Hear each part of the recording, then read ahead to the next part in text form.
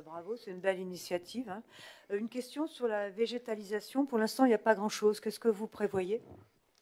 Sur la 78 bah, C'est 18. une demande de subvention à la région pour, la, pour la, le clos l'aîné.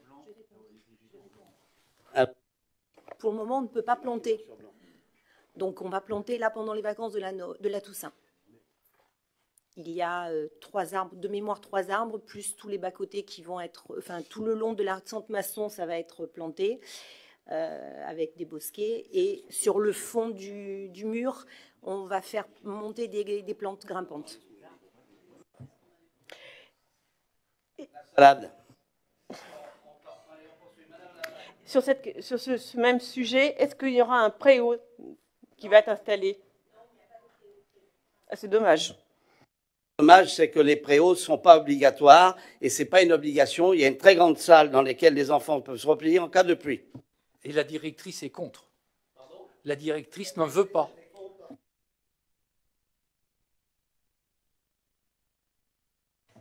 Sur, la même décision également et la 79, donc 78-79, donc vous sollicitez des subventions pour euh, ces aménagements de la cour de l'école Cloléné, c'est très bien. Ma question est de savoir pourquoi on n'est pas sur un aménagement cour oasis à proprement parler avec euh, l'intervention éventuellement des fonds européens et on s'est limité à un, un aménagement type oasis. Pourquoi on n'est pas allé jusqu'au bout de la démarche? Européen, madame, on n'y a pas droit. On n'y a pas droit.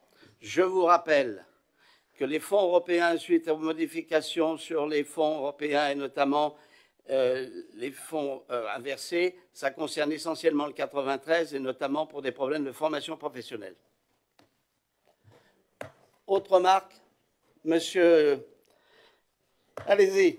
Oui, bonsoir. Euh, c'est le numéro 82, l'avenant 3 de- à la mission d'accompagnement pour une étude des tarifs de la restauration scolaire. Euh, Je voulais savoir euh, pourquoi cet avenant 3 et est-ce qu'on peut finalement rappeler le- la somme euh, de l'avenant 2, 3 et puis le- la somme initiale? Madame Boiron.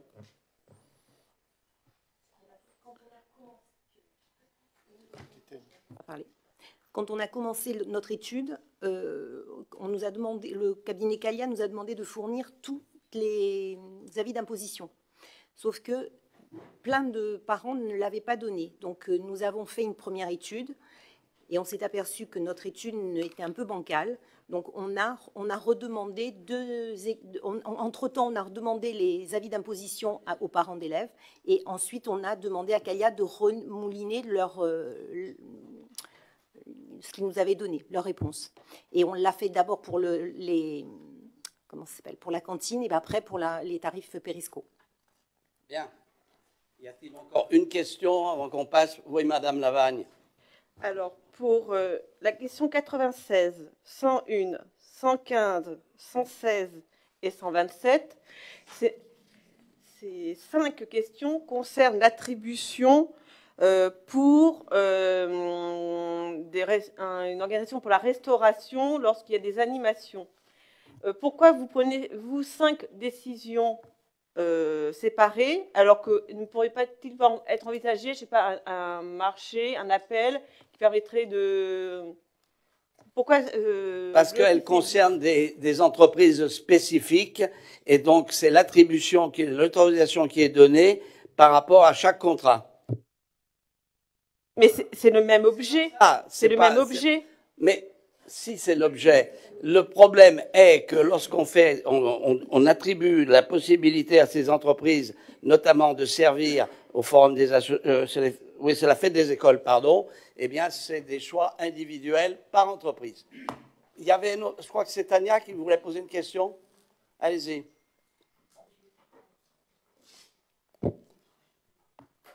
Allez-y. Ah oui, pardon. Excusez-moi, ça, j'arrivais pas à faire fonctionner le micro. Bonsoir, Monsieur le maire. Euh, J'ai deux questions concernant les décisions 100 et 109. La... Oui. 100.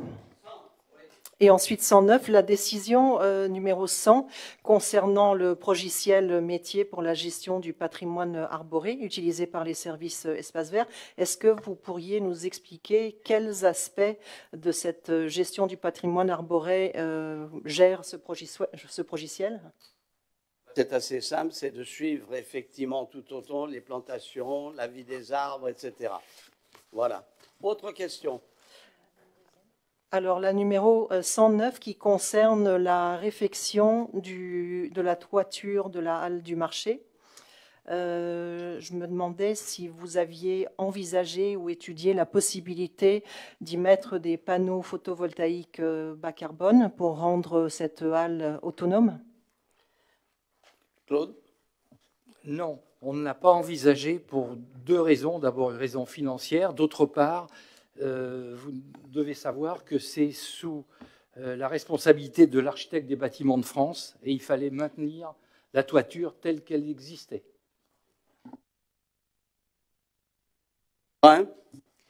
Je rebondis sur la 109 également. Euh, parce que on a quand même des travaux importants pour 1 800 000 euros euh, de réfection donc de la toiture des halles du marché. Juste pour rappeler euh, quand les travaux vont débuter et la durée de ces travaux et si le marché va être maintenu ouvert pendant cette période. Pensez oui, Claude? Oui, bon, les, les travaux vont démarrer courant du mois d'octobre et il y aura normalement aucun impact sur le fonctionnement du marché. Le marché ne sera jamais fermé. Euh, le mercredi, il n'y aura pas de travaux, le samedi non plus. On l'a programmé de telle manière que les commerçants ne soient pas, euh, je dirais, impactés, pour parler français moderne.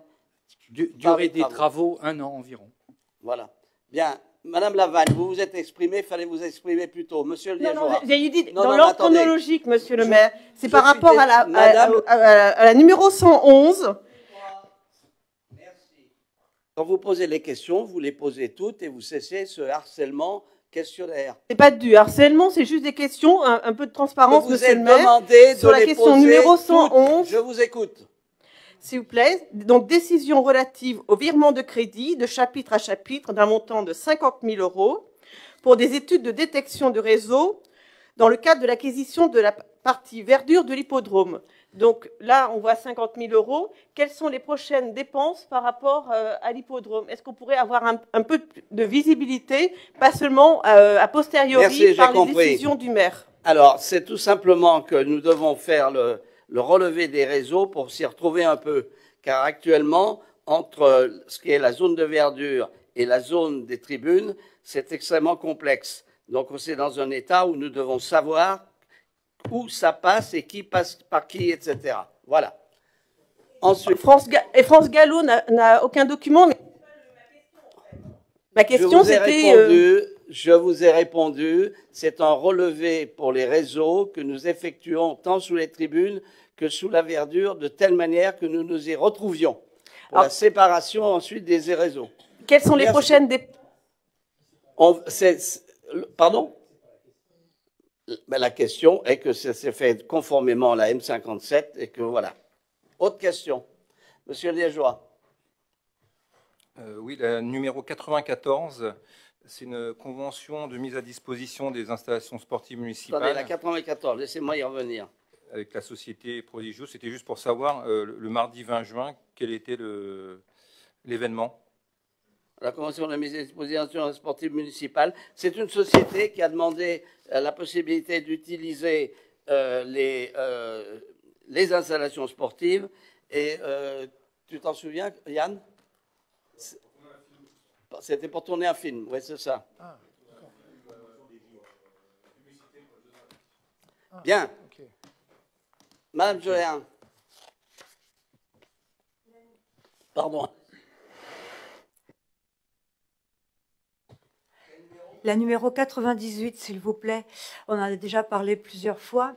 Euh, le CHML, est-ce que vous avancez un peu sur une réflexion pour revenir à une DSP Simple. Dès que nous le pourrons, dès que la situation économique sera meilleure, en ce qui concerne le CHML, nous lancerons au moment opportun une DSP. C'est clair. La situation économique est telle que euh, c'est assez difficile. En fait, comme on n'a pas eu de réponse à la dernière, euh, à la dernière DSP, ben, on est obligé de poursuivre pour un an et on relancera ensuite. Euh, mais c'est obligatoirement un an, si vous voulez. On ne peut pas prendre un engagement avec quelqu'un pour moins d'un an. Bien. Écoutez, je pense. Euh, qui vois-je là-bas? Ah, mais c'est Monsieur Droll. Allez-y. Merci, Monsieur le maire. Sur la 113. 113. Décision relative au virement de crédit de chapitre à chapitre d'un montant de 200 000 euros dans le cadre d'une enveloppe prévisionnelle d'assistance à maîtrise d'ouvrage pour la fin de l'année en cours. En fait, je voulais juste savoir de quoi il s'agissait. Il s'agit pour l'instant d'une opération comptable pour passer du 23 euh, du chapitre 23 qui est des travaux au chapitre des études. Voilà. Donc c'est préventivement que nous avons fait cette bascule de crédit. Mais l'étude. Mais pour l'instant, il n'y a rien.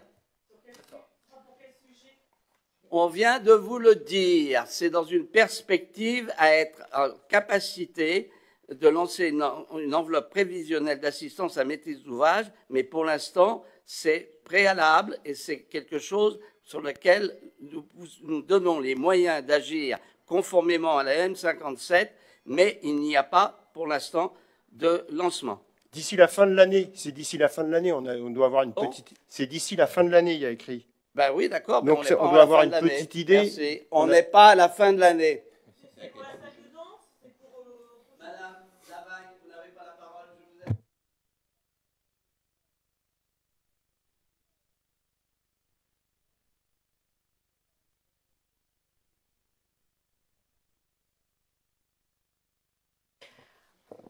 Nous avons effectué euh, une rentrée scolaire à peu près normale. Euh, vous avez, je crois, reçu les effectifs euh, des, écoles. Vous pouvez voir que nous avons eu quand même, malgré encore la baisse d'une trentaine d'enfants, trois ouvertures de classe et deux fermetures. Donc on est pour une fois le seul des positifs. ça se passe bien nous avons des instits euh, devant tous les enfants. Nous avons euh, des ATSEM dans toutes les écoles maternelles et nous avons pour le moment euh, relativement à peu près tous nos animateurs. Il nous, manque encore quelques petits, quelques petits contrats de, de, de 7 heures. Voilà.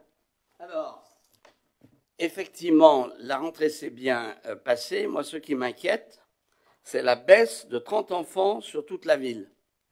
Ce qui montre qu'il y a un problème de natalité dans ce pays et qu'il euh, n'y a pas que là. Hein. il en manque 70 000 pour équilibrer les retraites. Et ça, c'est un problème, je dirais, difficile. Mais la rentrée s'est bien passée et avec euh, notamment une, excellente ambiance. Euh, tout le monde était content. Donc il y a eu des ouvertures et des fermetures. Voilà. Madame, Madame Merci. Madame Voiron, est-ce qu'il y a un impact de la réforme du passage à 24 élèves par classe? Est-ce qu'on escompte un impact pour la ville? En fait, c'est pour ça qu'on a eu ces, créations, parce que vous allez, enfin, vous regardez les chiffres, Montebello, c'est euh, c'est vraiment limite, mais c'est justement pour, permettre pour que les grandes sections CP, CE1 soient à 24, que euh, l'éducation nationale a créé ces postes. Donc nous avons en, en après, il peut y en avoir quelques, quelques classes à 25, hein, ce n'est pas non plus euh, une science exacte, mais normalement, bon an, mal an, il y en a 24 par classe dans ces niveaux-là. Alors, le sujet ne dépend pas de la mairie, mais c'est important pour euh, dans les écoles. Est-ce que tous les enfants qui bénéficient d'une notification AESH ont pu avoir un personnel mis à disposition ou est-ce qu'il y a encore des manques de personnel AESH il y a tout le temps des manques de, personnel AESH parce que ce sont des contrats qui sont précaires aussi et qui sont les personnels ne sont ce personnel-là n'est pas formé et euh, il faut reconnaître que c'est un métier qui est quand même assez pénible parce que les enfants sont plus ou moins euh, handicapés et euh, sans formation, c'est compliqué. Mais ce qui, arrive souvent, c'est que comme on en a maintenant pratiquement dans toutes les écoles et avec beaucoup, beaucoup dans chaque classe, on a souvent des AESH qui sont positionnés sur l'école. Et après, les instituts et l'AESH s'arrangent entre elles pour, euh, voilà, pour que, quand elles en ont besoin, il y ait toujours cette personne, ce personnel-là avec elles. C'est dans toutes les classes, lorsque j'ai vu effectivement un enfant handicapé assez lourd, Donc, euh, il y avait encore un certain nombre d'éléments qui devaient arriver. Tout ça a été corrigé. Mais euh, je dois dire qu'on a un personnel professoral qui s'en occupe bien. On a de plus en plus d'enfants handicapés dans nos écoles. C'est très bien, mais c'est très compliqué à gérer, aussi bien pour le corps enseignant que pour nos ATSEM et nos animateurs, parce que ça demande beaucoup de temps, beaucoup de puis souvent, on ne sait pas encore parce que les enfants sont diagnostiqués euh, souvent très tard. Et euh, quand ils sont en maternelle, par exemple, on n'a pas de diagnostic. Donc, pour faire les choses avec ces enfants-là, c'est compliqué. Mais quand on les, on les intègre quand même très bien, hein, puisque beaucoup mangent à la cantine où nous, où nous prenons un animateur en plus pour s'occuper de, ces enfants-là. Et la même chose dans les centres de loisirs. Quand tes parents demandent ne fût-ce qu'une demi-journée dans un centre de loisirs, nous prenons un animateur supplémentaire. Alors, je vais demander à Anne Bailly de nous dire un mot sur le, euh, le, oui, c'est le forum, c'est ça? Le forum des associations. Oui, merci, monsieur le maire. Le forum des associations a eu lieu le 9 septembre dernier de 10h à 17h sur l'île de la commune. Cette année, 103 associations et 8 structures municipales ou intercommunales ont participé. Je rappelle que l'USML ne compte que pour une association. Et pour mémoire encore, l'année dernière, nous avions également 103 associations et 9 services euh, participants. En revanche, ce n'étaient pas nécessairement les mêmes en 2022 et en 2023. Le nombre de visiteurs a été légèrement moindre que la participation record de l'année dernière, qui était de presque 7000. Cette année, nous avons eu environ 5300 pro visiteurs, probablement à cause de la température très chaude de cette journée, vous vous en souvenez. Cela n'a pas empêché les associations de faire le plein d'inscriptions cependant. Euh, il y a eu quelques nouveautés à noter sur le forum cette année, comme la mise en place d'un podium pour accueillir musique à maison de 15h à 16h30, qui a été grandement apprécié ainsi que l'organisation d'un jeu par l'Office du tourisme en direction du public et réservé aux associations adhérentes de celui-ci. Les horaires de la manifestation, vous avez pu le noter également, ont été légèrement modifiés pour se terminer à 17h au lieu de 18h. Voilà, donc nous vous donnons rendez-vous euh, pour le forum de l'association de l'année prochaine. C'est bien d'avoir plein d'espoir. Merci. Alors, Marie-Odile, sur euh, Balade en art, oui, alors euh, le lendemain du Forum des associations, donc le dimanche 10 septembre de 11h à 19h, a eu lieu la huitième édition de Balade en Art. 27 euh, artistes locaux, artistes peintres et sculpteurs et musiciens solistes euh, ont ouvert leurs portes au public et aux familles. Et cette année, bah, la manifestation a eu un grand succès malgré la chaleur. les artistes ont eu des visiteurs toute la journée. Et un comptage a été fait et euh, plus de 900 visiteurs euh, sont venus. Et bon, l'événement a su se renouveler aussi grâce à cette présence de musiciens, puisque Balade en art est maintenant Balade en musique depuis deux ans. Et euh, le jeune public a répondu présent aussi, puisqu'un livret-jeu est proposé et il est renouvelé aussi régulièrement. Donc tout le monde était vraiment très content les ai tous vus. C'est vrai que c'est intéressant d'aller voir les peintres chez eux. C'est toujours, euh, moi j'apprends toujours beaucoup de choses. Alors j'en viens maintenant à Monsieur Conneau qui va nous parler du vide-grenier. le vide-grenier, ça a encore été un grand succès cette année. Alors, j'ai pas exactement le nombre de visiteurs, c'est pas, pas facile à compter. On a eu le même nombre d'exposants que les autres années. À noter qu'il y a à peu près 80% des exposants qui sont mensonniens. Euh, donc c'est une vraie réussite, puisque ça permet euh, aux exposants de vider leur grenier, de se faire un peu d'argent, aux visiteurs de faire des bonnes affaires, en remplir un autre, hein. et remplir aussi leur grenier, qui pourront revendre l'année d'après. Et euh, à noter que les, tous les bénéfices de cette journée, tous les bénéfices que fait l'AEML pendant cette journée servent à financer une partie des animations qu'on peut voir dans les rues pour Noël. Parfait. Voilà. Bien, et au total, il y avait plus de 600 exposants. Hein. Oui, c'est quand même. Euh, et ça s'est très bien passé. Et je remercie notamment les services techniques euh, d'avoir nettoyé, bien sûr, euh, l'avenue de Longueuil, pardon, pas la Longueuil, l'avenue Général de Gaulle, très rapidement. Alors, Madame Vivien, vous nous dites un mot du patrimoine? Du patrimoine, déjà, c'est une, c'est une résurrection, puisqu'on ne, on ne s'en occupait plus depuis quelques années. le but était de mettre en valeur les artisans locaux, et ça a été aussi une, belle journée avec une restauratrice de tableaux et euh, un ferronnier euh, compagnon du Tour de France. Le, public a apprécié euh, le calme de l'ancienne église, les lieux, l'échange avec les, les artisans. Et c'était vraiment un lieu où les gens se sont assis et ont contemplé. Donc de ce point de vue-là, c'était vraiment quelque chose d'assez apaisant on avait ouvert la petite porte entre l'ancienne église et le château pour que nos, euh, spectateurs puissent aller euh, dans le parc du château et puissent participer aux journées euh, aussi du patrimoine du château et vice-versa. Et cette communication, d'abord, est souhaitée aussi par le nouvel administrateur du château, Alexandre Vittel, et il se reproduira d'ailleurs l'année prochaine, toujours sur les métiers d'art pour mettre en valeur les artisans.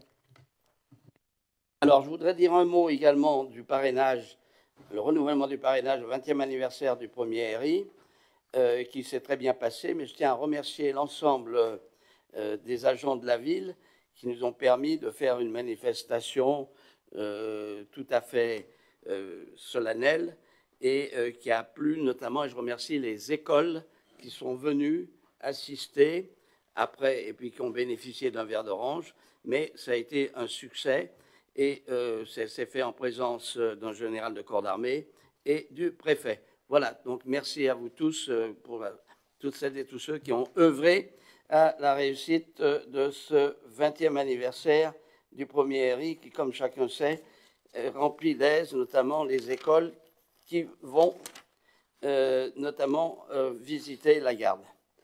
Alors, j'en viens maintenant à un certain nombre de questions. Dans l'ordre, il s'agit du Madame Géin qui m'a envoyé les siennes en premier. Ensuite, euh, il y a Madame Kéraudrin, mais on, répondra à Madame Kéraudrin en même temps qu'une question qui a été posée euh, par euh, Madame Géin. Et ensuite, la dernière question pour Nicolas Ljubenovic. Alors, Madame Lavagne, allez-y. Monsieur le maire, Début septembre est paru au journal officiel de nouveaux sites, de nouvelles villes listées comme sites patrimoniaux remarquables. Il en existe 940 aujourd'hui en France. Ce dispositif, créé en 2016, qui s'est substitué aux anciens dispositifs de protection, secteur sauvegardé, aire de mise en valeur de l'architecture et du patrimoine, ou zone de protection du patrimoine architectural urbain et paysager, a pour objectif de protéger, mettre en valeur le patrimoine architectural, urbain, paysager des territoires.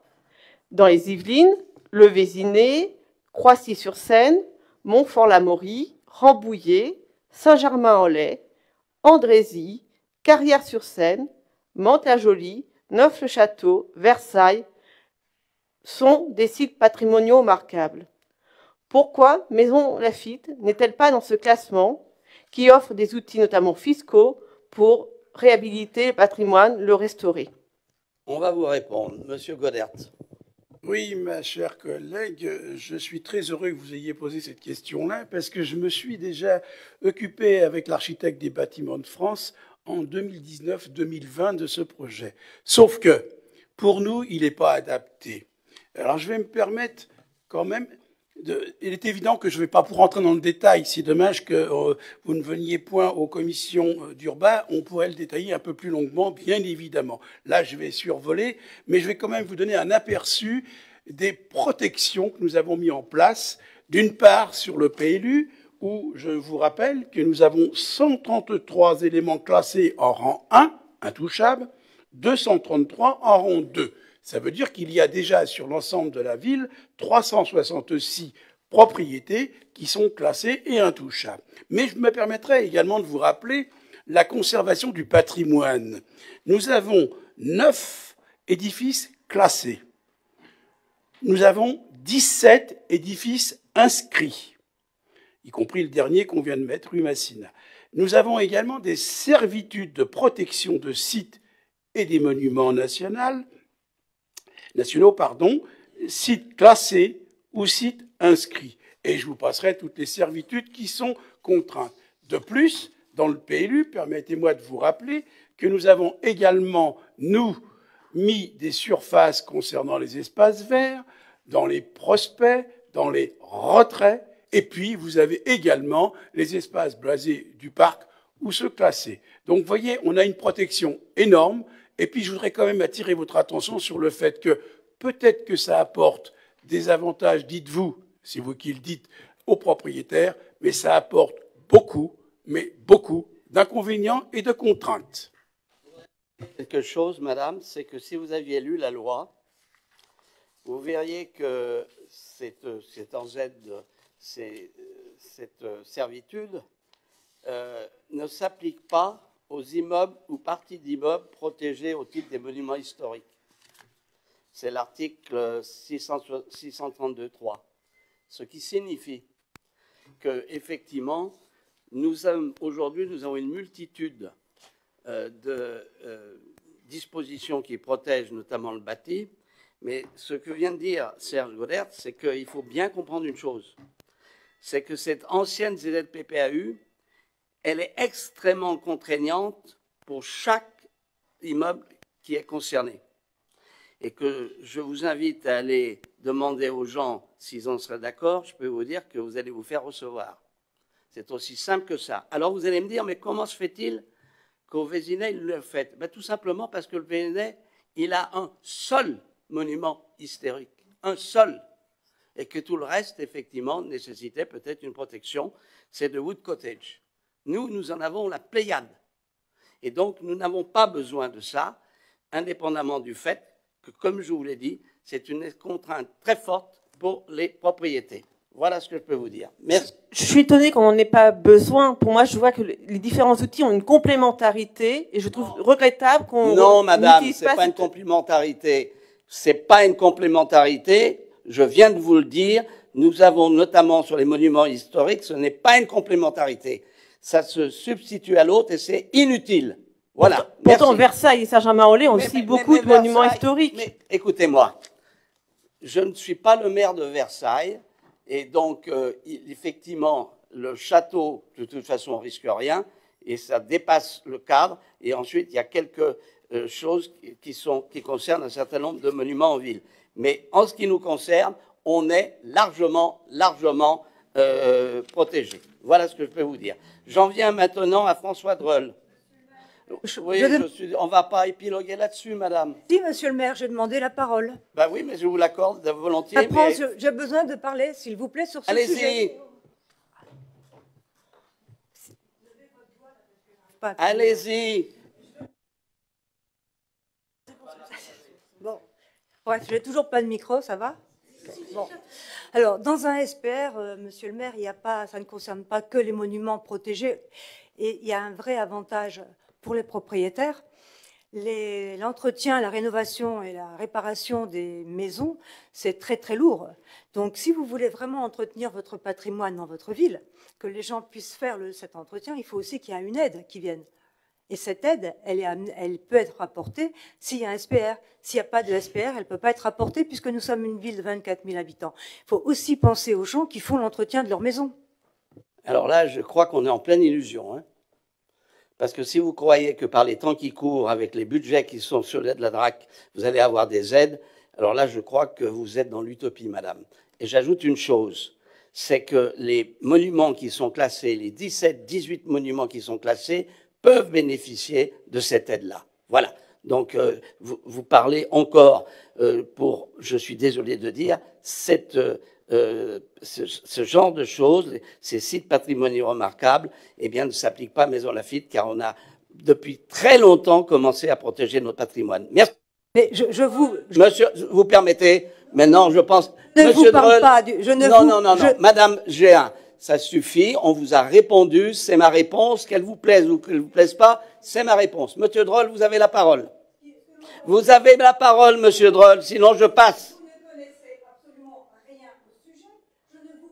Madame Géin, s'il vous plaît, c'est pas la peine de sololiaquer, vous avez tort. Point barre.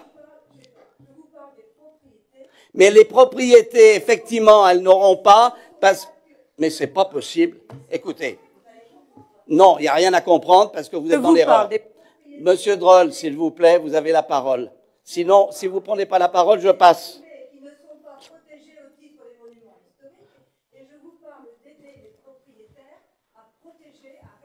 Je vous ai répondu, madame, que ce sont des contraintes multiples, que lorsque ça tombe sur des maisons, ensuite, c'est un véritable carcan.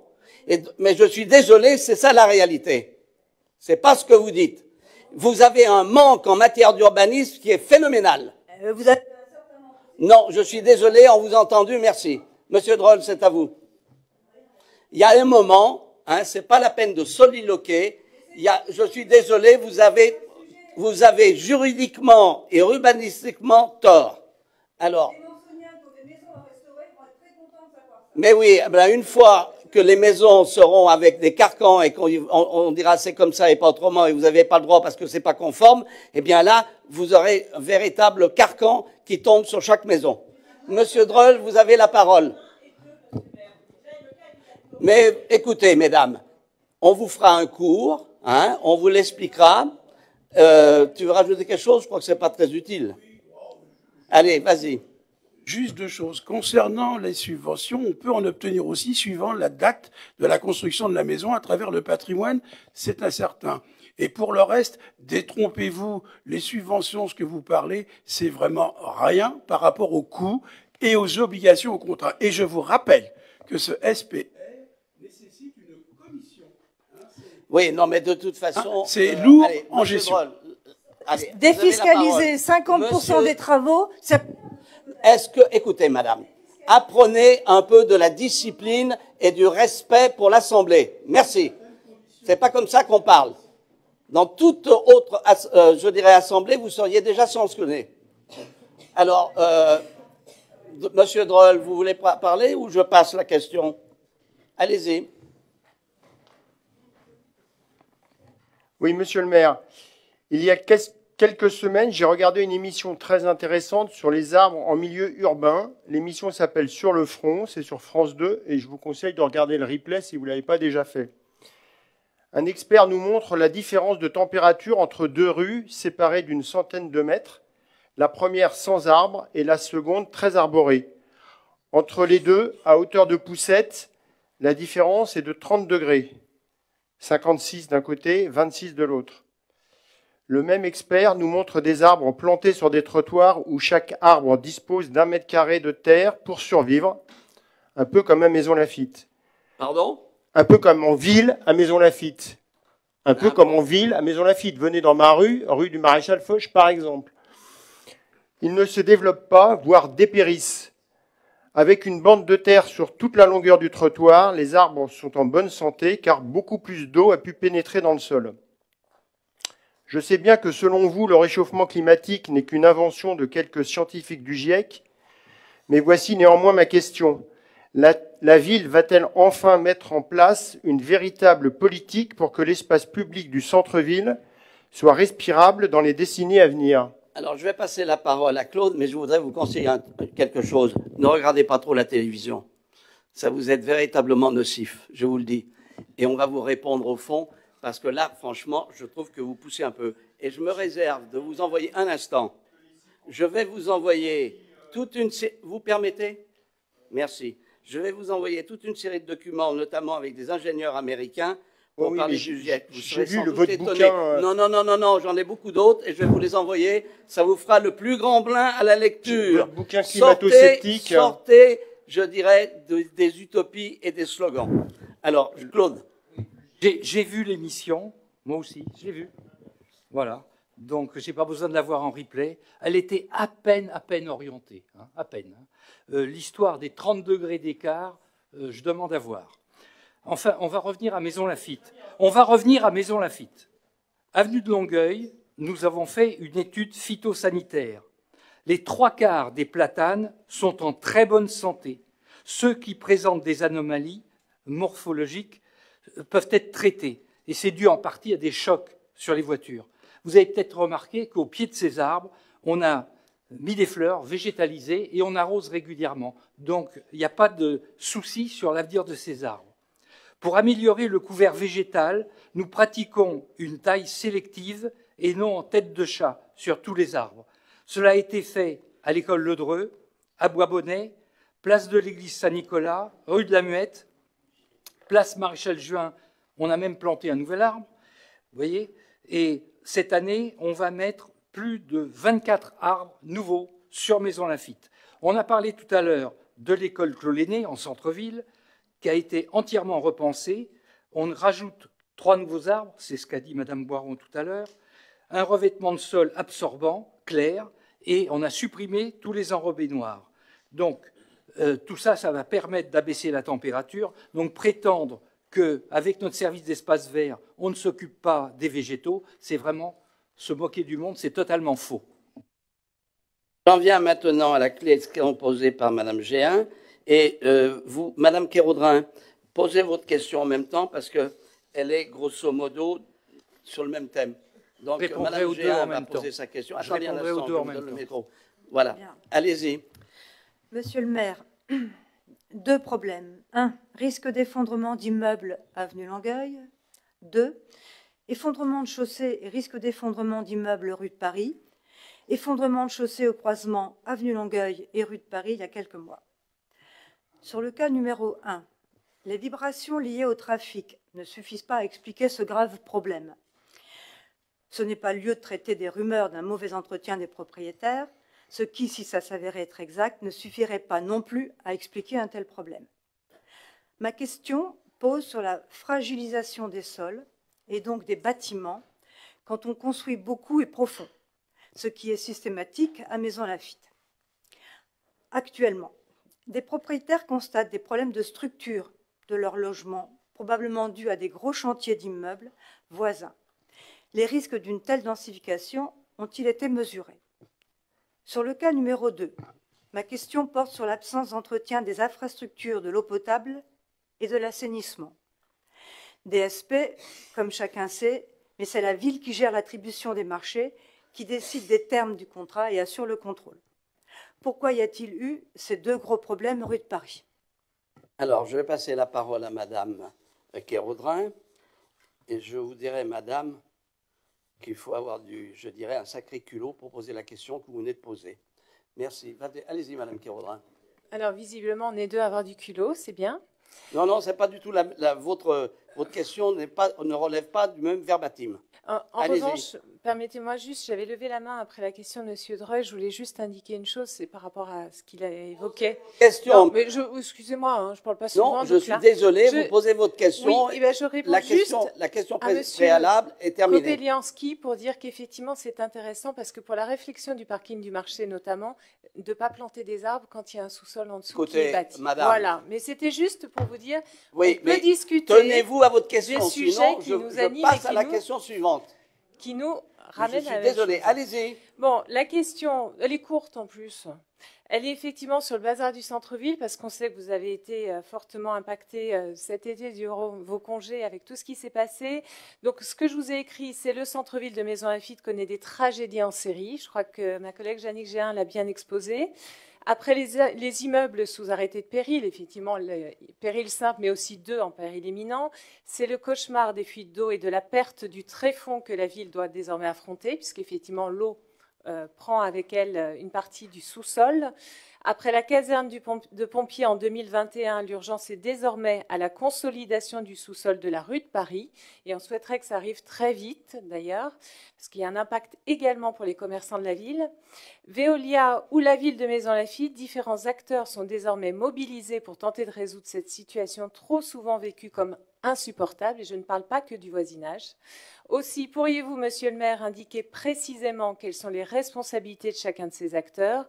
Pourriez-vous également préciser le coût des travaux envisagés ainsi que leur répartition suivant ces différents acteurs? Alors, euh, Claude Kopelinski va vous répondre. Je voudrais quand même corriger des mots. Heureusement, tragédie, dites-vous, il n'y a eu aucun mort et aucun blessé. Voilà. Alors, il ne faut quand même pas exagérer et cesser la démagogie de ce type. Alors, je, vais répondre euh, d'abord à Madame euh, Kéraudrin, à Méditerran Kéraudrin. La caserne des pompiers, euh, ce n'est pas un sinistre, ça n'a strictement rien à voir avec ce qui se passe sur les immeubles de Longueuil. Hein. on a conforté des cavités qui avaient été notées par sondage. Hein. Aujourd'hui, la caserne n'a aucun souci, tout va bien. Sur la rue de Paris, les responsabilités aujourd'hui, elles ne sont pas clairement établies. Hein, et on ne va pas en parler ce soir. On a encore des réunions cette semaine. Il est prématuré de dire que c'est la faute de Pierre, Paul ou Jacques. Euh, en ce qui concerne le coût, actuellement, entre le remplacement de la canalisation, les travaux de voirie où il a fallu euh, répondre aux exigences du département, puisqu'on est sur une départementale, la confortation euh, de l'agence immobilière où on a dû euh, faire des injections de béton, euh, aujourd'hui on en est à peu près à 220 000 euros. Maintenant, je vais répondre en parallèle à Madame Géin. vous ne voulez pas parler de rumeurs, mais ce que vous écrivez ne fait que sous-entendre des rumeurs mal placées. Pour les immeubles de l'avenue de Longueuil, je me suis personnellement rendu sur place en 2018 pour constater les désordres apparents. Donc ce ne sont pas des bruits de couloir, c'est ce que j'ai vu. Au fond de la cour, il y avait une remise qui était située euh, au fond de la parcelle et qui était vraiment dans un état pitoyable. Elle a été totalement démolie. J'ai fait constater les fissures, donc, il y a cinq ans, rien n'a été fait. Donc, si. Rien du tout. Un certain nombre de prescriptions avaient été formulées. Personne n'a bougé. Aujourd'hui, l'immeuble est étayé depuis le sous-sol. Un architecte et un bureau d'études structure travaillent sur la remise en état de l'ensemble de l'immeuble. Nous suivons ça de près, mais ça reste une affaire privée on attend la décision du bureau de contrôle qui euh, nous dira si on peut lever, oui ou non, l'arrêté de péril. Mais ce n'est pas nous qui pouvons prendre la décision. Ensuite, Madame Géin, je trouve un peu fort ce que vous avez écrit. L'absence d'entretien de nos structures d'assainissement et d'eau potable, mais vos propos sont diffamatoires, éprouvent votre méconnaissance du sujet. En effet, non seulement. Vous devez la décence de vous taire parce que dans ce domaine-là, vous avez pas mal de choses à dire. Non seulement. Non seulement. Taisez-vous. Taisez-vous. Non, non, laissez-moi continuer. Laissez-moi continuer. Non seulement notre délégataire, dans son rapport annuel, fait état de la nature des réseaux. Oui, oui, oui, ben, c'est Oui, alors. en matière de propos déplacés, nous n'avons pas de leçons à recevoir de vous. Alors ayez l'amabilité de vous taire. Merci. Bon, non seulement, non, non seulement notre délégataire, dans son rapport annuel, fait état de la nature des réseaux dont nous tenons compte pour les remplacements, il y a 73 km de réseau de collecte, 100 km de réseau d'eau potable. Vous avez eu connaissance de remplacement, de réhabilitation d'assainissement. On l'a fait rue du Ménil, rue Croix-Castel, au, début de la rue d'Achère, mais évidemment, vous ne l'avez pas vu puisqu'on réhabilitait par l'intérieur. Les réseaux d'eau potable, de la même façon, les derniers en date cette année, c'était Avenue Aiglé, c'était Place Wagram. Au-delà des recommandations du concessionnaire, nous avons dressé deux schémas directeurs, l'un pour l'eau, l'autre pour l'assainissement. Je dois signaler que pour l'eau, euh, les mesures de rendement des canalisations minimum sont de 72%. Nous, on est à plus de 90% depuis trois ans. Donc, ce que nous avons, nous avons transmis euh, ces schémas directeurs à la CSGBS, puisque c'est elle qui a la compétence, toutes les communes de l'aglo n'ont certainement pas fait le même travail que nous. Et donc, nous suivons par ordre de priorité ce que ces rapports nous ont, euh, souligné. L'origine des fuites d'avenue de Paris, aujourd'hui, elle n'est pas certaine. Donc, c'est difficile de vous dire quelle est l'origine. Il y a plusieurs hypothèses qui existent et je pense qu'on va avoir encore plusieurs semaines avant de savoir quelle est l'origine précise. Nous rencontrons nos interlocuteurs très prochainement. On va déjà faire un point sur la situation. Je signale que la ville, pour l'instant, a pris à sa charge les travaux, quitte après à faire la répartition suivant les responsabilités des uns et des autres. Je voudrais quand même ajouter quelque chose. Parce que, Madame Géin, votre libellé de la question est limite, je vous le dis. Parce qu'on sait très bien que c'est sur deux immeubles, il y a eu un manque d'entretien flagrant de la part des propriétaires. Vous n'avez qu'à demander euh, aux deux commerces, ils vous le diront. C'est aussi simple que ça. Et donc, je peux vous même vous dire que quand un huissier est allé porter, effectivement, notamment par les avocats de ces deux commerces, euh, une, demande euh, d'agissement, d'agir et pour avoir référé, cette propriétaire n'a pas ouvert aux grandes dames je dirais, de l'huissier et de l'avocat qui n'avaient jamais vu ça. Alors, s'il vous plaît, votre libellé est tout à fait inadmissible. Je crois que vous n'avez rien à dire, si ce n'est que de vous taire. Quelque chose à dire? Alors, si j'ai justement pris des j'ai justement pris des précautions parce que je n'avais pas les informations, donc je ne voulais pas aborder le sujet. Ma question portait sur l'impact que pouvaient avoir les constructions importantes en centre-ville sur des immeubles fragiles. C'était ma première question. Et ensuite, pour euh, répondre à Monsieur Kopelianskis, euh, ben, je suis contente que vous ayez lu le rapport du délégataire parce que moi aussi je l'ai lu. Il s'avère que je l'ai reçu cette semaine. Et donc, euh, j'étais un petit peu quand même effrayée de la liste des, des canalisations vétustes sur la ville. C'est écrit noir sur blanc. Donc, ça veut dire qu'il y a quand même un travail à faire. Il y a encore, enfin, maintenant, ça passe à la CAGBS puisque le marché est en cours, mais néanmoins, ne me dites pas que, tout est impeccable sur les canalisations. J'ai dit ça, j'ai dit que nous, euh, chaque année, nous refaisons des linéaires à la fois d'alimentation d'eau potable et on s'attaque également au réseau euh, d'assainissement. Notre réseau d'eau potable est ancien. Si on devait remplacer toutes les canalisations de Maison Lafitte, ce ne serait pas une ville, ce serait une taupinière. Bien, alors écoutez, on va passer, mais je tiens à dire que je euh, me réserve le droit de vous répondre, Madame Géin, de manière écrite. Maintenant, en ce qui concerne, vous verrez bien, en ce qui concerne M. Ivanovic, bien connu, vous avez la parole. Oui. Euh, monsieur le maire, Chacun doit mesurer le drame individuel et collectif que le harcèlement scolaire représente pour nos enfants, d'autant plus lorsque celui-ci est démultiplié par les réseaux sociaux. Il concerne en France plus de 800 000 jeunes Français du CP à la troisième. Mais en Lafitte n'est sans doute pas épargné par ce fléau. Pourriez-vous nous donner les actions que met en place la mairie pour prévenir et lutter contre ces situations? Je vous rassure tout de suite, on n'est pas le rectorat. Vas-y.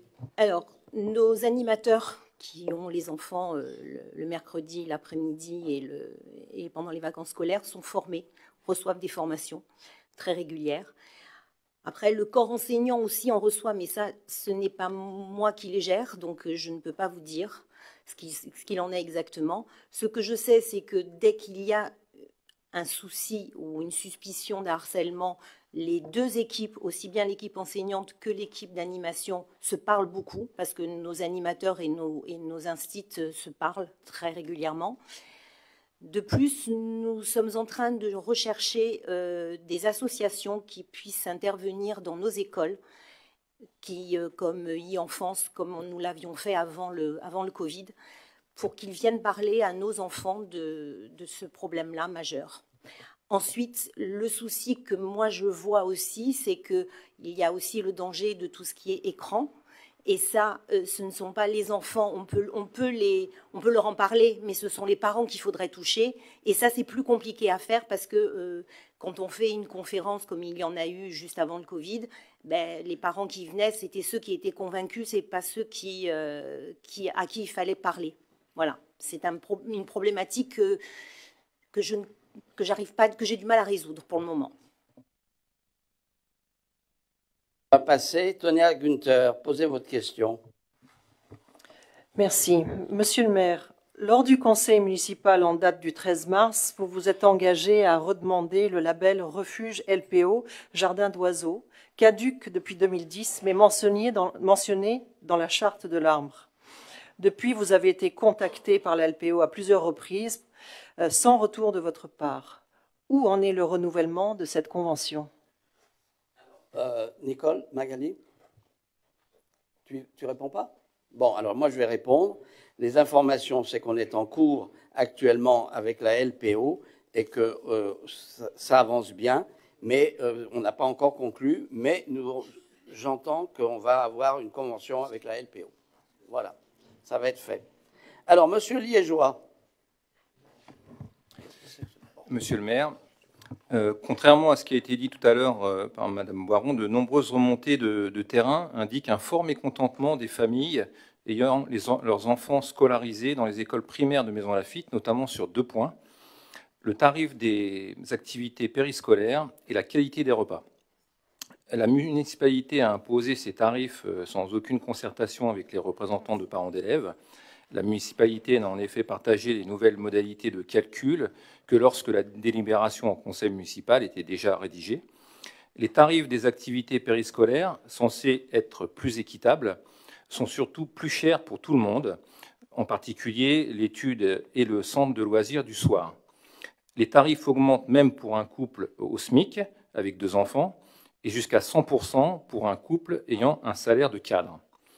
Vous avez réduit la structure des repas à quatre composantes, soi-disant pour réduire le, gaspillage, cause qui aurait pu être louable, sauf que suite à ces changements, de nombreux, problèmes sont remontés.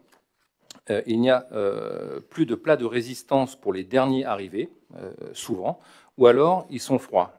Les portions sont réduites, euh, des fromages sont mélangés avec les entrées ou les légumes, etc. En résumé, les prix augmentent et la qualité baisse. Ma question est simple. Quand allez-vous enfin proposer un bon service qualité-prix, un service que les parents et les enfants sont en droit d'avoir? Vous ne serez pas déçus du retour. Alors, je vais, les deux, il y a deux choses différentes, les tarifs et la qualité de la cantine. Alors, sur la qualité de la cantine, je n'ai je reçu aucun aucune remarque de la part des parents d'élèves. Je vais recevoir les parents d'élèves euh, mercredi au sujet des tarifs et ils ne nous parlent pas de la qualité des repas. Mais ce que je vais faire, c'est que vous allez me proposer trois dates et vous viendrez manger et vous verrez que rien n'a changé et surtout, nous n'avons pas le droit de baisser les grammages parce que les grammages sont imposés. Il y a une loi qui est très restrictive et qui nous impose les grammages sur, euh, sur ce que l'on sert aux enfants. Donc les et des enfants. Oui, Monsieur Liégeois, vous écoutez et après vous nous redirez encore un mot. C'est bien de vous faire les remonter à vous, mais dites-leur de venir nous voir nous. Voilà. Donc je vous invite à me m'envoyer un mail avec trois dates pour que nous puissions aller manger. Comme ça, vous pourrez vous, vous pourrez euh, juger sur euh, sur place. Euh, les tarifs. Les tarifs, c'est simple.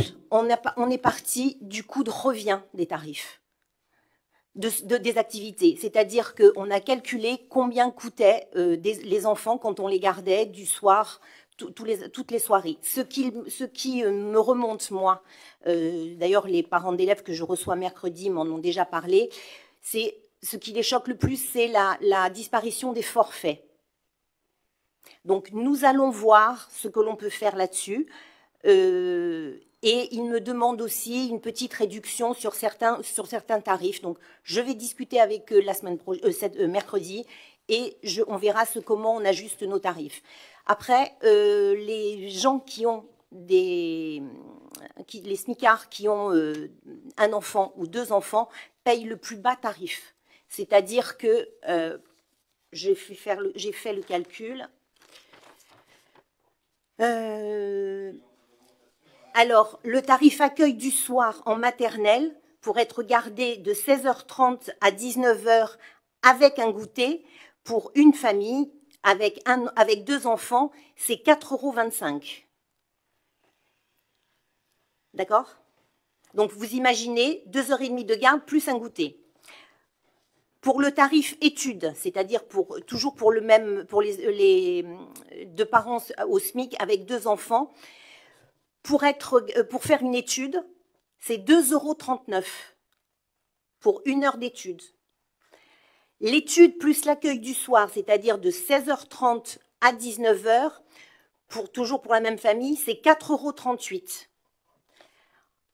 L'accueil du soir en élémentaire, euh, c'est 4,61 euros.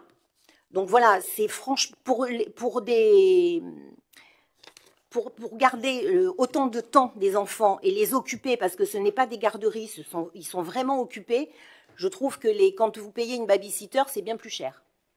Bien. Voilà. Alors, je pense que vous allez déjeuner. N'oubliez pas de payer le repas. Hein. Merci. Je déjeunerai avec plaisir avec Madame Boiron, mais euh, c'était juste pour dire qu'il y avait quand même, euh, au niveau du coût. Pardon, excusez-moi, allez-y. Euh, moi aussi, j'ai fait des petits calculs là, au niveau du simulateur qui est, sur le, site internet. Et donc, euh, pour le forfait, par exemple, le forfait mensuel, ou si on fait un calcul sur le mois, ou si on fait un calcul sur l'année, euh, il y a pratiquement tout qui augmente. Et un, couple qui a 30 000 euros de, revenus avec deux enfants, le, forfait augmente, ce qui n'est pas tout à fait normal, je dirais, puisque initialement, c'était quand même fait pour répartir et, que les, ceux qui gagnent le moins bah, payent un peu moins qu'avant. Et là, ils payent plus ce que les gens ne se rendent pas compte encore à l'heure actuelle, c'est que les forfaits, souvent, les gens prenaient le forfait, mais ils n'y allaient pas tout le temps.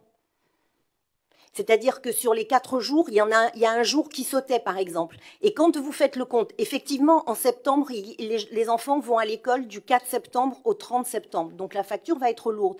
Mais en octobre, le, forfait, les gens prenaient le forfait, ils le payaient, mais ils ne l'utilisaient pas. Donc là, en octobre, ils vont avoir des factures bien moins importantes que celles du, mois de septembre. Et ça, les gens n'ont pas encore compris, il faut qu'ils prennent l'habitude. Alors, la parole à euh, Nicolas Lubilovic. Je ne savais pas que vous aviez des velléités, Nicolas, d'aller à la maison de retraite. Il faut toujours savoir se préparer. Enfin, disons comme je l'aurai à la retraite. Ce qui pas donné là non un long chemin. Alors, posez votre question. Euh, donc, Monsieur le Maire, on va aborder donc un sujet dont on va discuter un peu plus tard aussi, mais cette fois-ci sous l'angle un peu d'un recours gracieux.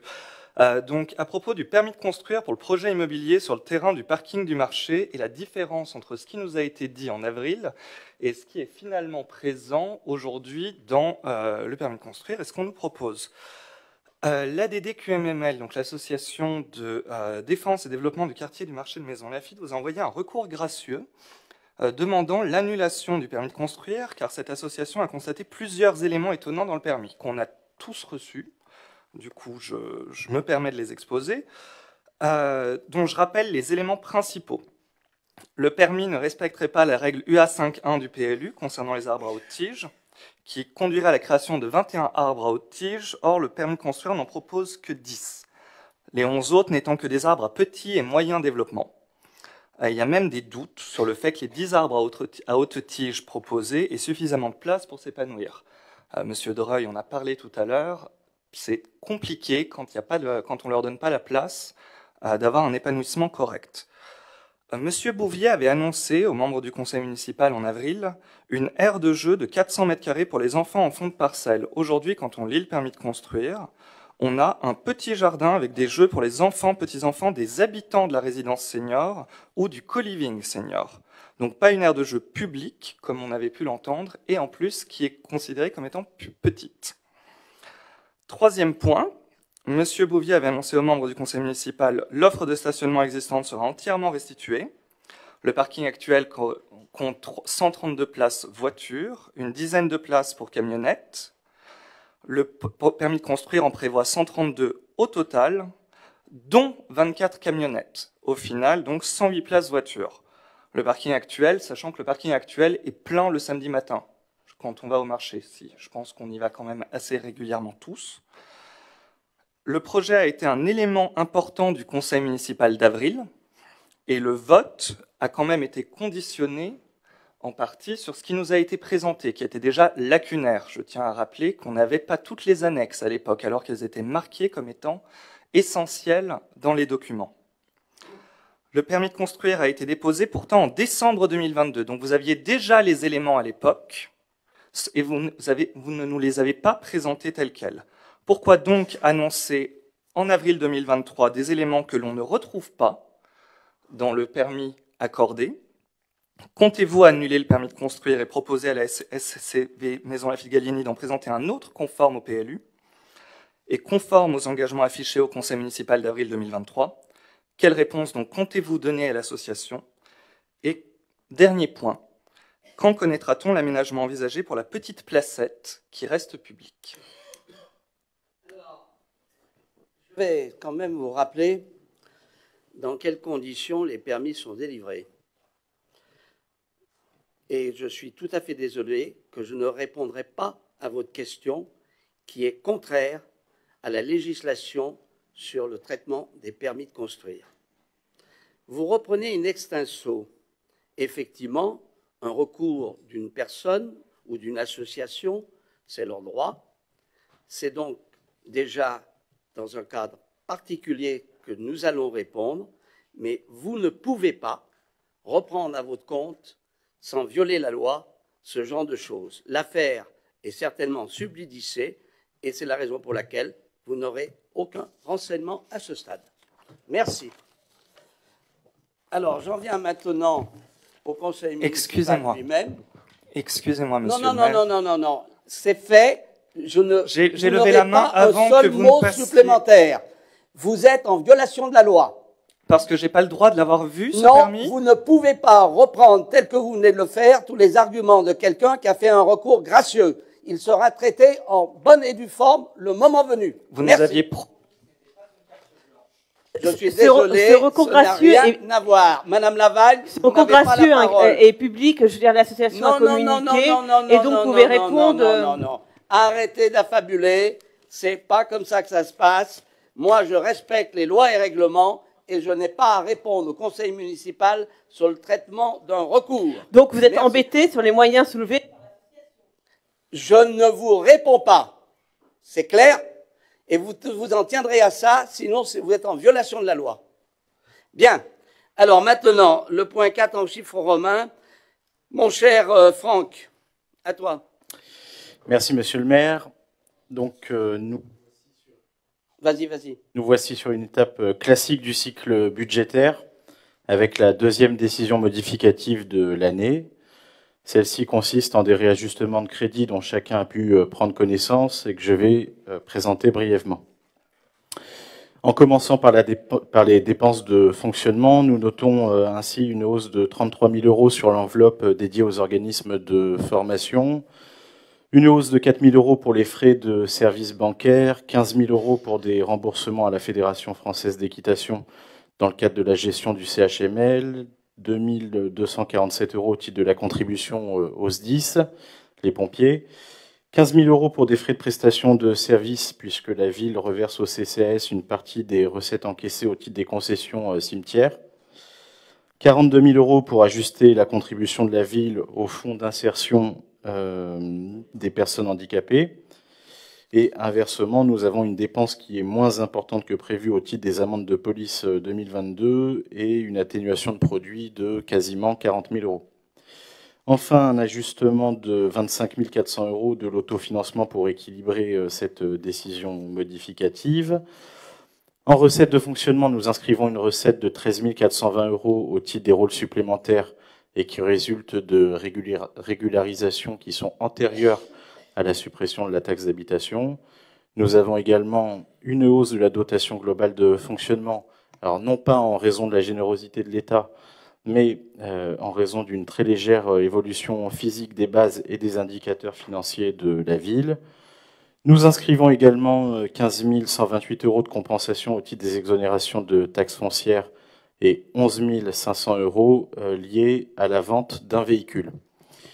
En dépenses d'investissement désormais, nous vous proposons d'inscrire 174 322 euros, 322 euros au titre de l'ajustement du montant de la taxe d'aménagement En l'occurrence, il s'agit de remboursement à des promoteurs en raison de recours sur plusieurs opérations qui ont été différées ou annulées.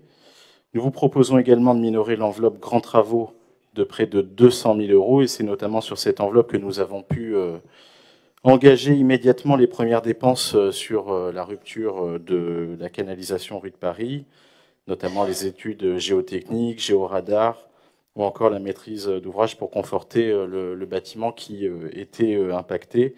Et donc je souligne au passage la nécessité d'avoir des finances saines qui nous permettent de réagir immédiatement à ces imprévus qui sont inhérents à toutes les collectivités locales.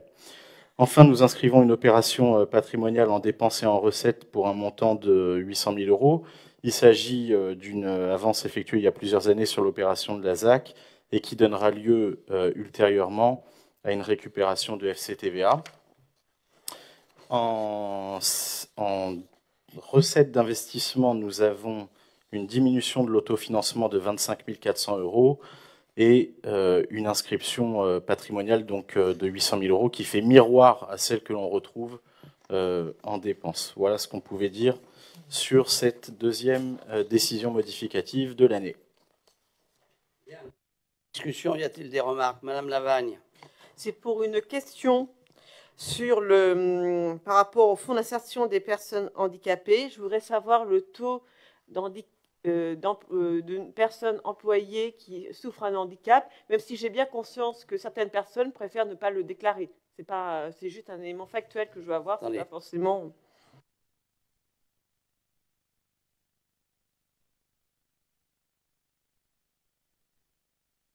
C'est vrai, on est un peu en dessous de 3%. Y a-t-il d'autres remarques? C'est un taux, en effet, assez bas par rapport euh, à la moyenne des collectivités territoriales, qui est plutôt de l'ordre de 6,6%, l'État étant à 4%. Donc, je suis un peu étonné de ce taux aussi bas. Bah, c'est comme ça. C'est pas moi qui invente les chiffres. Les chiffres traduisent la vérité. Monsieur Liobanovic. Oui, c'est une question euh, liée à l'augmentation de 33 000 euros sur le versement aux organismes de formation. C'est juste pour savoir, est-ce qu'il y a eu une action de formation spécifique qui donne lieu à, ce, à cette augmentation ou si c'est enfin, si le parcours de formation normal? Voilà. Oui, il y a eu un certain nombre de dépenses qui ont été effectuées avec un rattachement 2022. Donc c'est un abondement de crédit. Autre remarque, Madame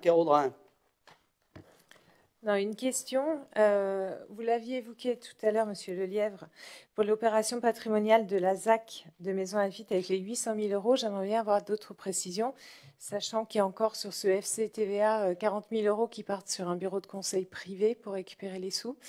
Euh, voilà, j'aimerais bien savoir exactement ce que c'est avec l'historique, pourquoi on avait fait cette avance, ou voilà, plus de détails, s'il vous plaît. Tout simplement parce que dans le bilan de la ZAC, il y avait cette somme et nous l'intégrons au budget. Voilà. Pardon? Attendez, c'est une somme avancée par la ville, c'est le promoteur ou voilà. C'est un bilan de ZAC, ça dure depuis 1991. Euh, Et donc euh, là, il y a la possibilité de le reverser au budget en investissement de la ville. Voilà, avant la clôture définitive de la ZAC. C'était une dépense qui était prévue, c'est ça? Qui était budgétisée? C'est quoi? Une dépense de la ville budgétisée ou... Et non, là, c'est dans le bilan ben oui, j'ai bien eh ben compris. alors, le bilan, c'est à la suite d'un processus comptable. D'anticipation d'une dépense ou d'une recette. Donc, c'est juste pour avoir l'histoire. C'est parce qu'il y a eu des dépenses qui ont été effectuées et on est remboursé par la ZAC. Voilà. Et le FCTVA dessus, c'est quel montant en TVA Le montant qu'on pourrait récupérer en TVA auprès du FCTVA La TVA, on a récupéré 40 à 50 000 euros, c'est ça? Un peu plus de 130 000 euros. oh, pardon, j'étais en dessous. 130 000 euros. D'accord. Moi, les frais de bureau de conseil là-dessus. Ouais. Et ça, c'est justement à cette occasion que, la, euh, notamment, la, le bureau d'études a constaté qu'on n'avait pas récupéré la TVA sur ces sommes. Bien. Il n'y en a pas, il a pas d'autres. Je passe au vote. Qui est contre? Qui s'abstient? Attendez. Euh, alors, contre ou pour? Comme on a voté le, euh, contre le budget, on est contre une, la décision modificative. Très bien. Errare humanum est, perseverum diabolicum. Merci. Euh, donc, euh, merci. Abstention à l'unanimité. Il y a simplement combien de contre? 7. 7, voilà, ben, vous comptez, c'est bien, c'est un chiffre. Alors, parfait. Maintenant, je passe aux tarifs municipaux. Point 5, mon cher Franck. Là aussi, il s'agit d'une délibération tout à fait classique qui, qui revient à augmenter les tarifs d'insertion publicitaire dans le magazine municipal de 3% au 1er janvier 2024. Je rappelle que l'inflation en 2022, c'est 5,2%. Et euh, sur, euh, sur les insertions publicitaires, c'est 110 000 euros de recettes. Et je tiens à remercier d'ailleurs le travail efficace euh, du service communication et du service commerce qui, qui agissent conjointement pour récupérer ces sommes substantielles. Y a-t-il des remarques? Oui.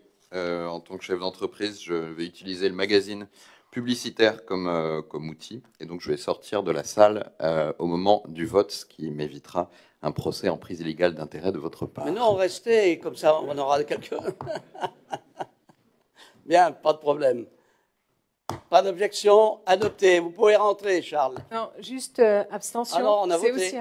Oui, mais dans votre vote, il y a quoi? Il y a pour, contre, abstention. Excusez-moi, je fais votre travail, mais dans votre travail, vous avez une abstention. On se calme, Madame. Bah, excusez-moi, vous ne faites pas. pas trop du col, hein, s'il vous plaît. mais là, vous bon, ne le alors, faites pas. Vous, est bien vous abstenez Oui. Très bien, Monsieur merci. Le maire. Voilà. Et donc, euh, euh, et pour ce qui est des autres? Bon, allez, pour terminer, on passe. Une abstention. Parfait. Alors, on pousse. Alors, maintenant, j'en viens J'en viens à une session de véhicules pour Claude Kopelanski.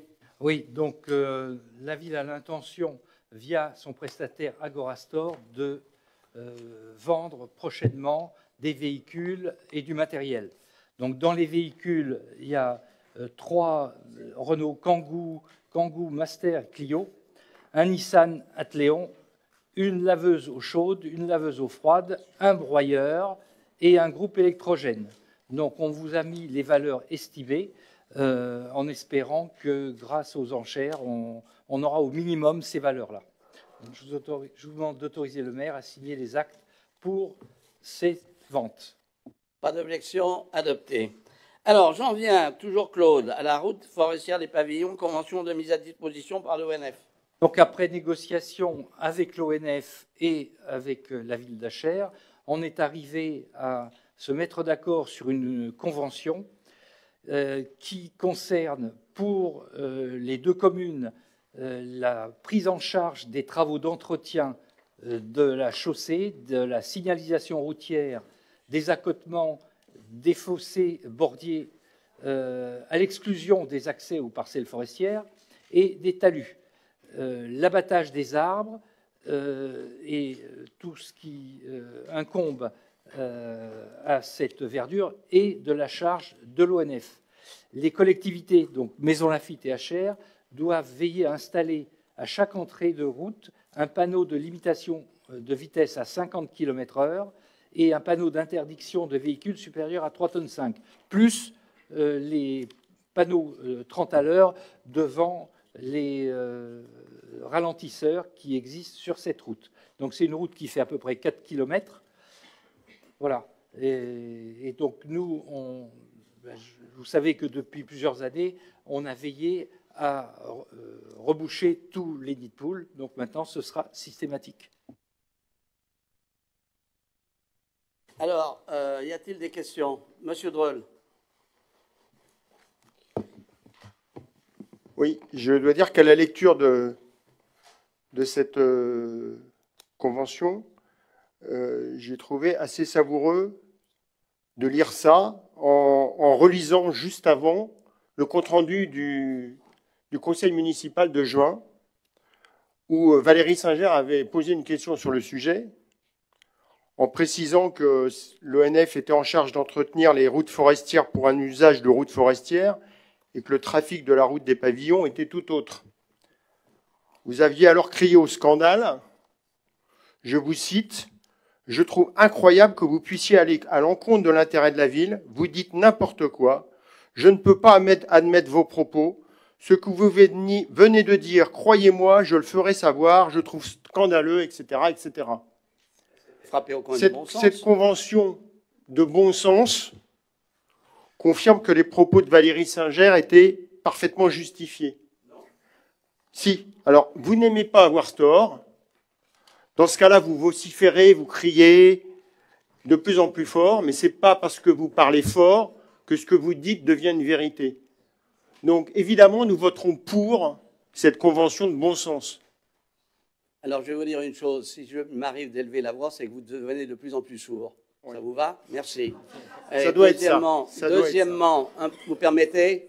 Deuxièmement, dans ce qu'a dit Mme Singer, c'est qu'elle semblait aller donner, euh, je dirais, raison à l'ONF pour la fermeture. Je suis désolé. Non, non. vous voulez qu'on relise, vous voulez qu'on relise Pas du tout. C'est exactement ça. C'est ce que je lui ai dit, puisqu'elle disait c'est une route forestière dont l'ONF n'a pas à l'entretenir. C'est ce que l'ONF nous a. Changé de lunettes. Alors, si je. Écoutez, je suis désolé, on ne va pas épiloguer là-dessus. Premièrement, vous n'êtes pas Madame Singer. Et deuxièmement, il était évident qu'à l'époque, on avait une sacrée crise avec l'ONF qui durait d'ailleurs depuis 2-3 ans. Voilà. Alors, je, qui, souhaite intervenir euh, C'est Monsieur. Monsieur Ljubenovic, Monsieur le maire. Ah, ma, question porte. Enfin, évidemment, je vais voter pour la délibération. Mais c'est vrai que quand on regarde finalement les mois que ça a causé, parce que bon, on a plus de, c'était quoi, plus de 8000 véhicules par jour sur ce, sur ce tronçon de 4 km. Moi, ma question va poser, est-ce qu'on va réfléchir quand même à une question de plan de mobilité, plan de déplacement avec les communes alentours et pas seulement qu'avec nous? Parce que si on a autant de véhicules qui passent, il y a peut-être des questions à se poser justement pour limiter le nombre de véhicules et leur proposer des alternatives cohérentes sur tout le tissu urbain et que ce soit avec notre communauté d'agglo, avec les villes alentours, etc. etc. Monsieur Levanovitch, il y a 8000 véhicules qui passent là. Je peux vous dire que la négociation, je l'ai menée de bout en bout avec Michel Béal, avec euh, Monsieur Honoré, maire de la Dachère, et que j'ai été interpellé par de très nombreux ouvriers ou employés qui travaillent à Maison Lafitte en disant il faut la maintenir. Donc vous qui avez, paraît-il, euh, une étiquette du socialiste, je m'étonne un peu de ce que vous dites.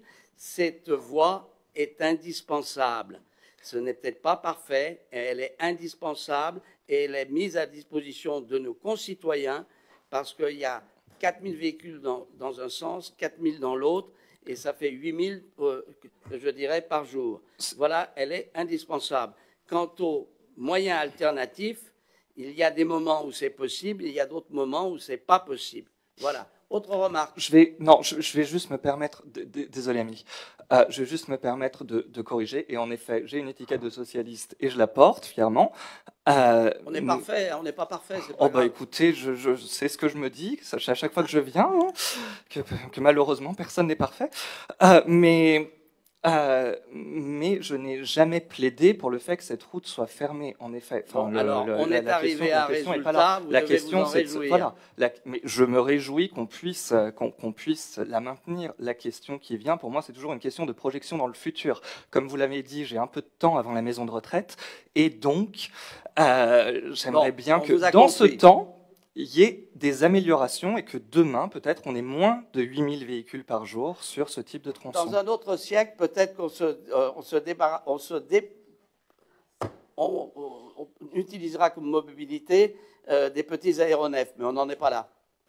Voilà. Autre remarque, Madame Kéraudrin. Alors moi aussi, je me réjouis du, maintien de cette route et qu'on puisse effectivement éviter un cul-de-sac rue de la Muette. Donc ça, on est effectivement tous d'accord. Je m'interroge juste sur la convention qui est, qui a été, qui est présentée aujourd'hui au Conseil municipal et euh, notamment sur des points de détail qui sont la durée de la convention. Donc, elle est euh, conclue pour trois ans, effectivement. Donc, en contrepartie, effectivement, la ville reprend la responsabilité pénale et juridique de tout ce qui peut se passer sur la route, et donc euh, a à sa charge tous les travaux d'investissement, donc l'enrobage notamment, puisqu'elle en a grand besoin. J'ai vu que dans le plan d'amortissement, c'est un, ce, ce type de travaux s'amortit sur 15 ans alors qu'on a une convention de trois ans, que si jamais on arrive à échéance de la convention, c'est-à-dire si l'ONF ne la dénonce pas auparavant, aucune des deux villes n'est indemnisée pour les travaux qu'elle aura pu réaliser sur cette route. Donc je me, déjà, je me demande si ce n'est pas un frein, cette durée de trois ans, finalement, à l'envie des communes de, réaliser l'enrobage complet de la route. Ensuite, je voudrais donc savoir quels sont les travaux euh, qui sont prévus sur cette route, l'échéance et le prix. Et également, un autre sujet qui m'intéresse, c'est de savoir la répartition de ces coûts entre la ville de Maison-Lafitte et la ville d'Achères, parce que je suppose qu'il y a également une convention qui est ou qui sera conclue pour euh, opérer cette répartition Alors, on va commencer par la fin. C'est assez simple. On n'a rien mis dans la convention parce qu'il faudra. C'est une question bilatérale avec Acher. Et nous sommes euh, tombés d'accord avec le maire d'Acher qu'il y aurait à chaque fois un partage des frais à déterminer à chaque fois. Donc c'est une question de confiance entre les deux villes. Alors maintenant, j'en viens aux trois ans. Juste sur quel permettez Merci. Et vous parliez du sujet du parc. Madame, s'il vous plaît. Mais je me fiche de ce que vous voulez dire. Je parle d'abord, vous répondrez après. Mais c'est quand même incroyable. Apprenez un peu de discipline. Merci, j'ai compris. Alors maintenant, j'en viens aux trois ans. L'expérience, parce que la proposition que nous avait faite Michel Béal, c'était 30 ans. Aucune collectivité ne peut s'engager sur 30 ans. Donc j'ai trouvé la formule, aura un peu d'expérience, je dirais, euh, qui me vient d'une profession euh, antérieure, et donc on a mis trois ans, de telle manière qu'ensuite, bien sûr, ça a renouvelé. L'idée est que ce sera renouvelé. C'est aussi simple que ça. Alors vis-à-vis -vis euh, de ce qui est, je dis, des amortissements, eh ben, on verra. Ce qui est certain, c'est que pourquoi a-t-on accepté? Par la simple question, c'est que je crois que c'était en 2000 ou 98, ils avaient proposé qu'il fallait refaire de fond en comble. Et euh, de ce côté, euh, l'ONF a parfaitement compris qu'il ne pouvait pas demander 200 à 300 000 euros et qu'il fallait simplement assurer, je dirais, l'entretien euh, de cette voie afin d'éviter des accidents. C'est ce que nous avons déjà fait dans le passé où nous avons dépensé 40 à 50 000 euros pour boucher des trous. Et nous avons donc maintenant, nous prenons aussi une assurance de telle manière qu'on soit assuré pour éviter qu'on se retrouve dans les procès. Voilà où on en est. Voilà, vous avez quelque chose à ajouter, madame? Quelle est la clé de répartition des coûts entre les communes de Maison-Lafitte et d'Achères Est-ce que c'est en Je fonction viens de vous le dire. Est-ce que c'est en fonction de l'usage, du nombre d'habitants?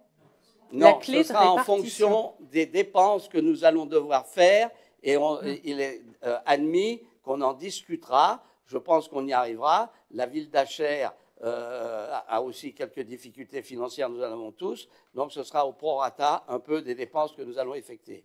C'est aussi simple que ça. Il y a des moments, il faut avancer. Et si on avait commencé à 10, 10, 20%, etc., on n'en sortait pas. Donc j'ai un accord, je dirais, euh, d'honneur avec la ville d'Achères pour qu'on puisse avancer ensemble et prendre en charge euh, ces dépenses. J'ajoute que ces dépenses sont chiffrées à quelques dizaines de milliers euh, d'euros pour non pas refaire de fond en comble la route, mais pour, je dirais, l'entretenir et éviter des accidents.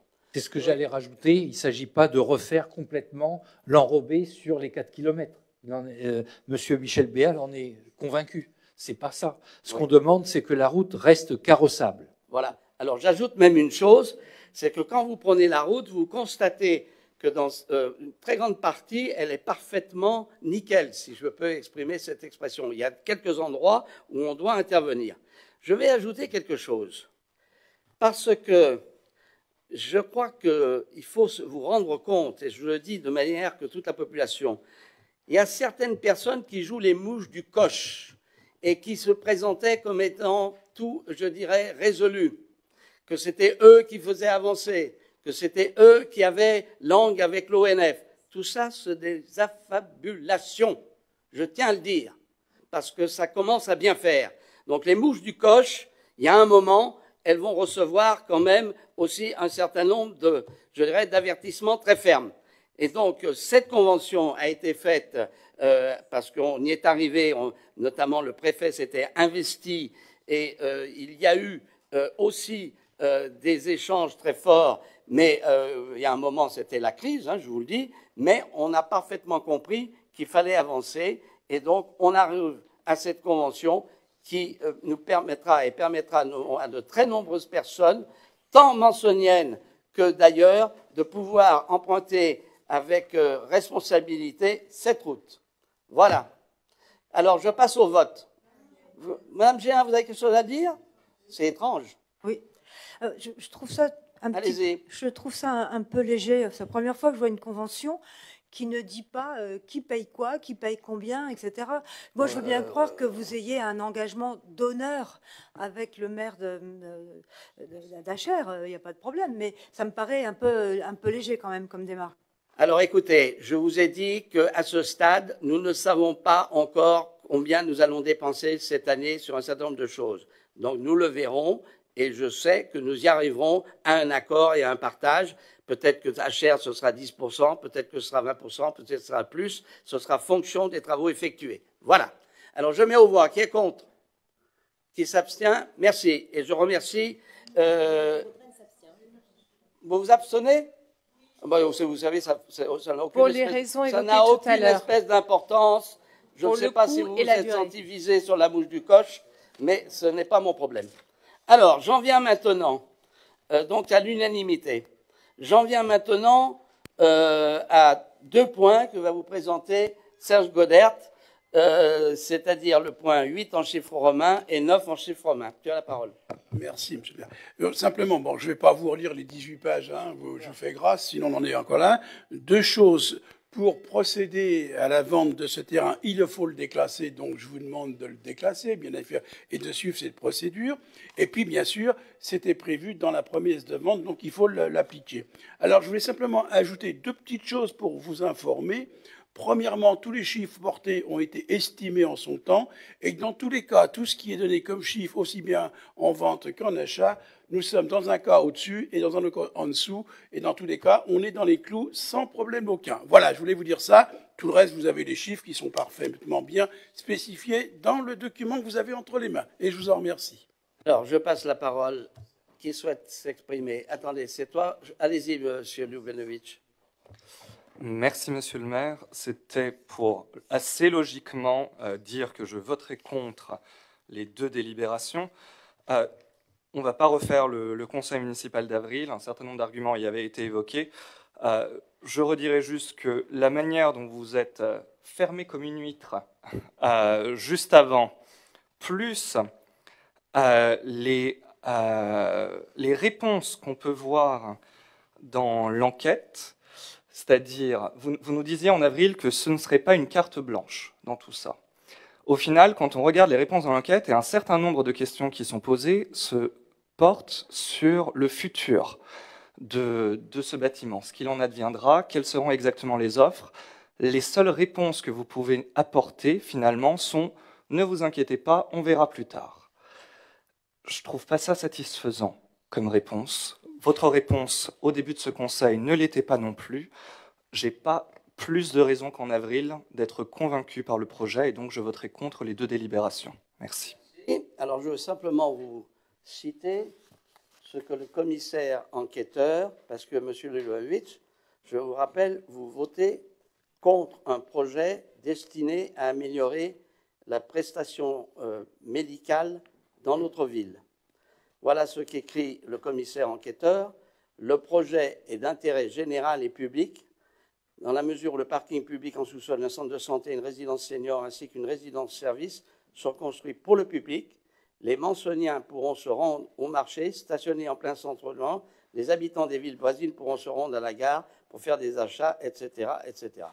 Donc, euh, l'enquête publique a parfaitement démontré que c'était un projet d'intérêt général au service de nos habitants. Y a-t-il. Oui, monsieur Droll. Oui, juste pour euh, expliquer aussi pourquoi nous voterons contre ces deux, deux résolutions, euh, même si Nicolas a déjà expliqué pas mal de choses. Euh, pour le, déclassement de la, de la parcelle, c'est très discutable. Ça n'a pas été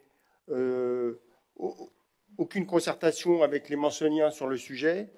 Euh, on aurait pu imaginer un projet qui restait euh, dans la ville, géré par la ville. Pourquoi pas une maison médicale, mais gérée par la ville En tout cas, il y avait beaucoup d'alternatives. On n'était pas obligé de bétonner autant. Bref, tout ça pour dire que pour la résolution 8, nous voterons contre. Et pour la deuxième, c'est la même chose. Même si le projet est, meilleur que le précédent, ce qui n'était pas très compliqué, il y a quand même beaucoup de points qui restent problématiques. Nicolas les a cités, le nombre d'arbres, l'aire de jeu pour les enfants, les conditions financières de l'opération qui ne nous semblent pas satisfaisantes. Donc pour toutes ces raisons, nous voterons contre ces deux résolutions. Alors, je vais redire ce que j'ai déjà dit. C'est un projet d'intérêt général. Vous, allez porter une très grande responsabilité à ce titre, car c'est quelque chose, c'est un pôle de santé qui va renforcer ce que nos concitoyens attendent, à savoir des prestations qu'ils n'ont pas toujours aujourd'hui. Hein. je rappelle qu'il va y avoir un pôle de santé, qu'il va y avoir euh, aussi euh, notamment euh, un accueil pour les personnes âgées, il y a également un EHPAD. Bref, c'est parfaitement cohérent et c'est ce qu'attendent nos concitoyens. Je suis désolé de dire que vous dites une chose fausse. L'enquête publique a été longue, les gens se sont exprimés, l'enquête publique, on vous l'a donnée, elle est là. Et euh, donc, euh, il y a véritablement eu échange et que, in fine, bien sûr, il y a un avis favorable du commissaire enquêteur. Madame Lavagne, vous voulez ajouter au contre euh, Monsieur le maire, ce qui est regrettable, c'est qu'on vende un terrain public en plein centre-ville qui est euh, je veux dire, euh, vraiment essentiel par rapport au, marché. C'est un projet que le projet que vous présentez et correspond parfaitement à celui qui a eu à la place du pavillon Adèle, où je note que le pôle de santé est à moitié occupé, que le logement senior c'est qu'à 10%. Alors je veux dire qu'il y a besoin d'un autre pôle de santé, oui, mais ce qui aurait été intéressant c'est qu'il soit géré différemment. Et, et là, c'est reproduire la même chose. Et donc, ce qui est, euh, pourquoi la ville ne prend pas en charge euh, je veux dire, la gestion d'un pôle de santé Et ça, serait beaucoup plus intéressant. Vous avez un don particulier, c'est de parler pour rien dire. Vous permettez Je ne suis pas la seule, ça me rassure. Désolé, madame. Apprenez, mais ça, je crois que c'est peine perdue à vous, un peu de discipline. Il est évident, premièrement, du côté d'Adèle, c'est différent. Il y a déjà des spécialistes qui montent en puissance et ça se passe bien. Et là, c'est différent parce qu'il y a un pôle santé de 700 mètres carrés, si mes souvenirs sont exacts, plus un co-living. Bref, c'est toute une suite. Et donc, vous ne pouvez pas dire qu'on aurait pu faire différemment. Parce que la ville doit aussi, que vous le vouliez ou non, je dirais, euh, permettre une initiative qui est une initiative portée par des pays et qui va dans le bon sens. Donc c'est la raison pour laquelle vous allez porter devant l'opinion publique une grande responsabilité car vous vous opposez à un projet d'intérêt général. On s'oppose sur les modalités, sur l'organisation. Je veux dire, c'est pas comme si les, euh, les, finances de la ville étaient à sec. C'est pas le cas. il y a 16 millions d'euros qui ne sont pas euh, engagés, qui ne sont pas ciblés. On aurait pu très bien garder ce terrain public, mettre en place, en effet, construire un parking, euh, une zone euh, plus verdoyante, un pôle de santé public qui aurait atterri, attirer plus facilement des médecins parce qu'un certain nombre de médecins maintenant recherchent d'être euh, salariés et qui restent de façon plus pérenne que juste quelques heures euh, dans la semaine. Et là, c'est une modalité d'organisation qui correspond pas forcément, et même pas du tout, je pense, aux besoins de la ville, puisque c'est ce qui déjà a lieu sur le pavillon Adèle. Oui. Alors, on va vous répondre, mais très franchement, réfléchissez avant de parler. Vas-y, Franck. Oui, juste pour répondre euh, à, l'intervention d'Anne Lavagne, c'est aussi ignorer euh, les, très grandes difficultés euh, que rencontrent les collectivités aujourd'hui pour qui, qui, gèrent des centres de santé en régie à recruter des praticiens. on sait que dans la fonction publique territoriale, il y a un certain nombre de filières où on a des difficultés de, recrutement. C'est le cas de la police municipale, c'est le cas des filières techniques, et c'est évidemment le cas des, euh, des professionnels de, santé. Et donc, il suffit pas de dire euh, dans une assemblée, il faudrait que on gère en régie, il faudrait gérer différemment, alors que le mouvement actuel de la majorité des collectivités locales, c'est précisément de confier ces missions à des privés, au secteur privé, soit en délégation de services publics, soit euh, directement euh, euh, au privé, parce que les collectivités ont simplement du, mal à recruter des généralistes, des spécialistes et à proposer une offre de soins complète aux habitants. Je crois que tout a été dit, donc je passe maintenant oui, j'avais simplement trois questions. Euh, la première, est-ce que euh, vous confirmez que le parking deviendra payant ou pas? Euh, Deuxième, comment vous faites justement pour attirer ces médecins et quelle spécialité visez-vous? Et la troisième question, est-ce que vous avez une idée de la durée des travaux prévus pour les riverains notamment? J'adore cette question qui, qui donne aussi une idée que bien évidemment tout doit être gratuit. Bien sûr qu'il y aura on, va sans doute avoir une heure gratuite lorsque les gens vont marcher. Ça, c'est faisable. C'est pas assez. Vous permettez. Il y a une chose qui n'est pas marquée aussi, c'est que vous vous taisiez. Merci. Bon. Et donc, euh, de ce côté-là, on verra. En tant que conseiller municipal, j'ai le droit de Madame Lavagne, mais écoutez, arrêtez de faire, je dirais, ce que vous faites. C'est aussi simple que ça. Un peu de discipline. Merci. Et donc, euh, bien évidemment, on passe par une société pour faire venir les, euh, notamment les médecins, hein, c'est ce qu'il y a dans l'acte, et que c'est elle qui va avoir la charge de faire venir les médecins. Ce qui n'est pas, bien évidemment, comme vous le savez, compte tenu de toutes les difficultés, mais là, ce sont des gens qui l'ont déjà fait par ailleurs. C'est que DBI euh, va appeler une société qui est spécialiste de ce genre de prestations. Voilà. Et donc, euh, voilà, Madame G. Euh, pardon, vous n'avez pas répondu euh, à la troisième question sur la durée. La durée des travaux, à mon avis, deux ans, oui, 18 mois, deux ans. Mais on peut aller le plus vite possible si on arrive notamment sur le parking. Et le parking gratuit, c'est fini, on est d'accord Pardon? Le parking gratuit, c'est fini. Mais enfin, ben est-ce que vous pouvez, je vous viens de vous dire qu'on envisage sans doute une heure gratuite, comme il y a au pire derrière, pour aller faire des courses 30 euh, minutes. Mais compte tenu de la nécessité, je vous rappelle d'ailleurs que la ville ne peut pas mettre à disposition des terrains qui sont certes des terrains privés et de gratuité. Nos concitoyens ont bénéficié effectivement d'une certaine gratuité. Il faut regarder les réalités telles qu'elles sont. Aujourd'hui, ça va devenir un parking payant et sécurisé. Madame. Euh, quelle obligation d'engagement dans la durée mettez-vous la société qui va s'occuper du pôle de santé? Alors, de ce côté-là, nous avons demandé des garanties et nous avons demandé aussi un certain nombre de garanties avec une possibilité pendant plus de deux ans, mais nous sommes conscients que euh, les garanties, euh, ça va marcher de soi, parce que la société en question a tout intérêt à effectivement faire venir un certain nombre de personnes, des médecins, qui vont, euh, je dirais, euh, répondre aux besoins euh, de nos concitoyens. Donc, vous savez, je vais vous dire, la garantie pour savoir si les pyramides ne s'écouleront pas, elles sont là. Nous, nous, passons, nous partons avec l'idée que, bien évidemment, c'est quelque chose qui va fonctionner, qui va monter en puissance petit à petit. Si vous prenez Adèle, c'est ce qui se passe, et donc ça permettra effectivement notamment de répondre aux besoins de la population. Je rappelle que le défi que nous avons à relever, c'est le vieillissement de nos populations. Et l'affaire du co-living est une excellente idée euh, et euh, Philippe, malheureusement, a des, problèmes, euh, a des problèmes personnels et pas pu là ce soir, mais il vous dirait que les gens qui ont été choisis sont des pros en la matière. Madame Carodrin.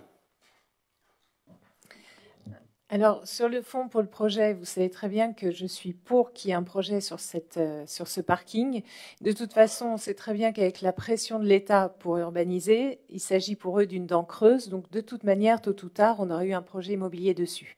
Donc, c'est la raison pour laquelle, pour la délibération 8, pour tout ce qui est mécanique, euh, de désaffectation et de déclassement, je voterai pour.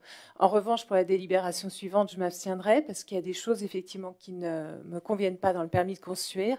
Effectivement aussi, euh, même si je me réjouirais qu'il y ait énormément de praticiens qui viennent, je pense qu'on ne les aura pas avant, euh, à mon avis, au moins 5 ans. Et le problème est actuel à Maison Lafitte.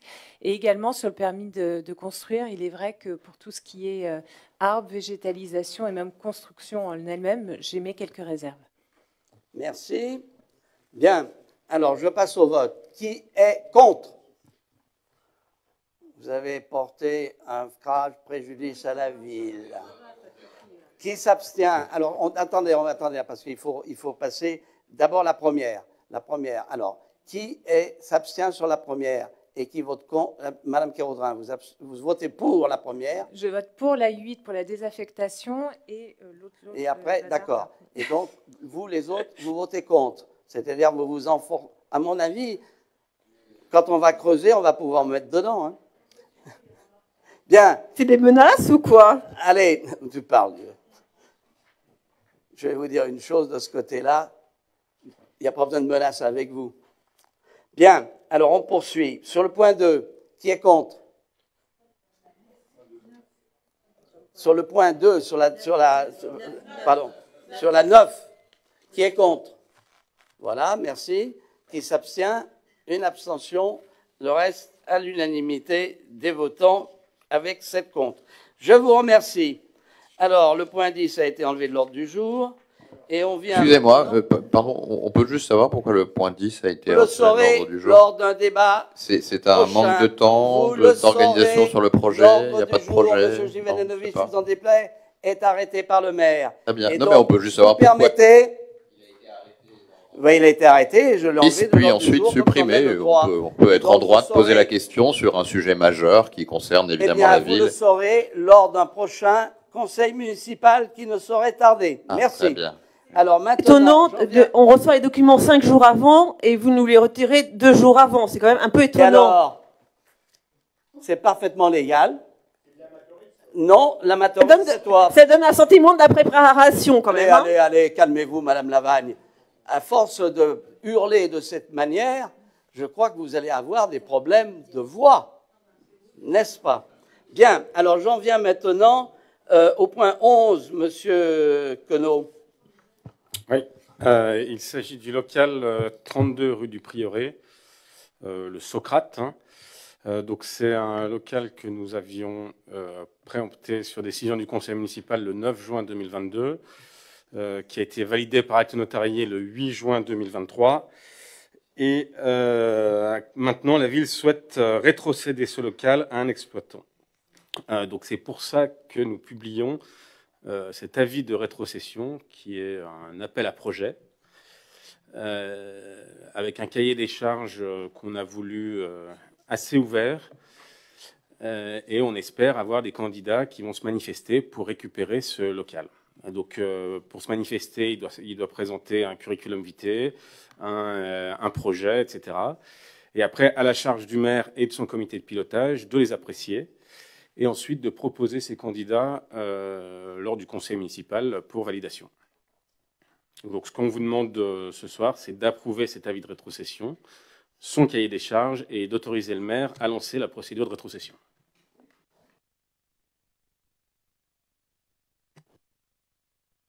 Merci. Euh, effectivement, on va substituer à un bar qui faisait face au collège du prieuré un autre type de commerce et c'est une bonne chose. Euh, à titre personnel, hein, je considère que c'est une bonne chose. Euh, donc il y a une convention qui ouvre à certaines activités. Si je me souviens bien, c'est habillement, il y a de lézards aussi, il y a certaines choses.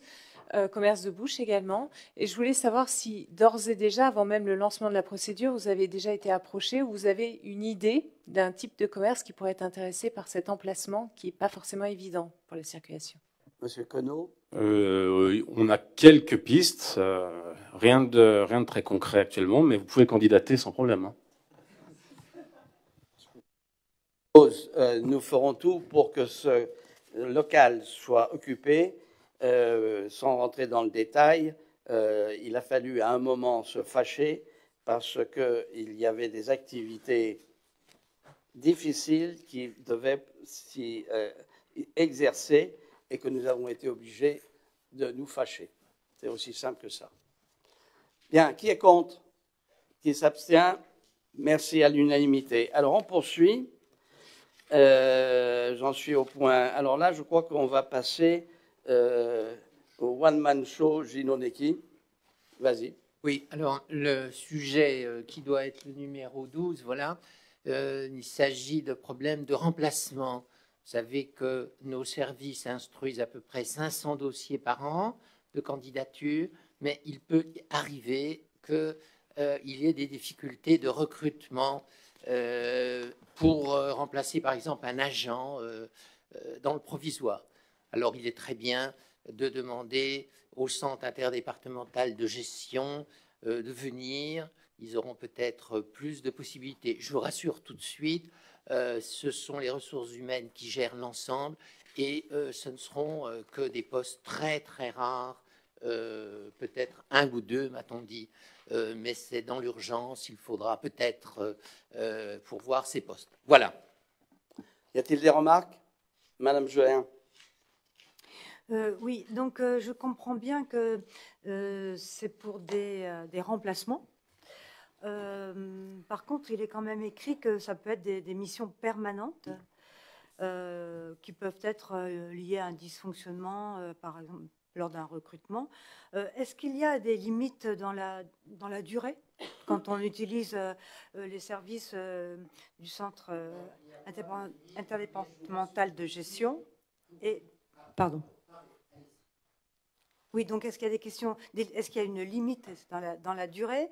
Et en termes de coût, est-ce que ça fait une différence par rapport à des, des salariés de, la, de la ville? Vas-y.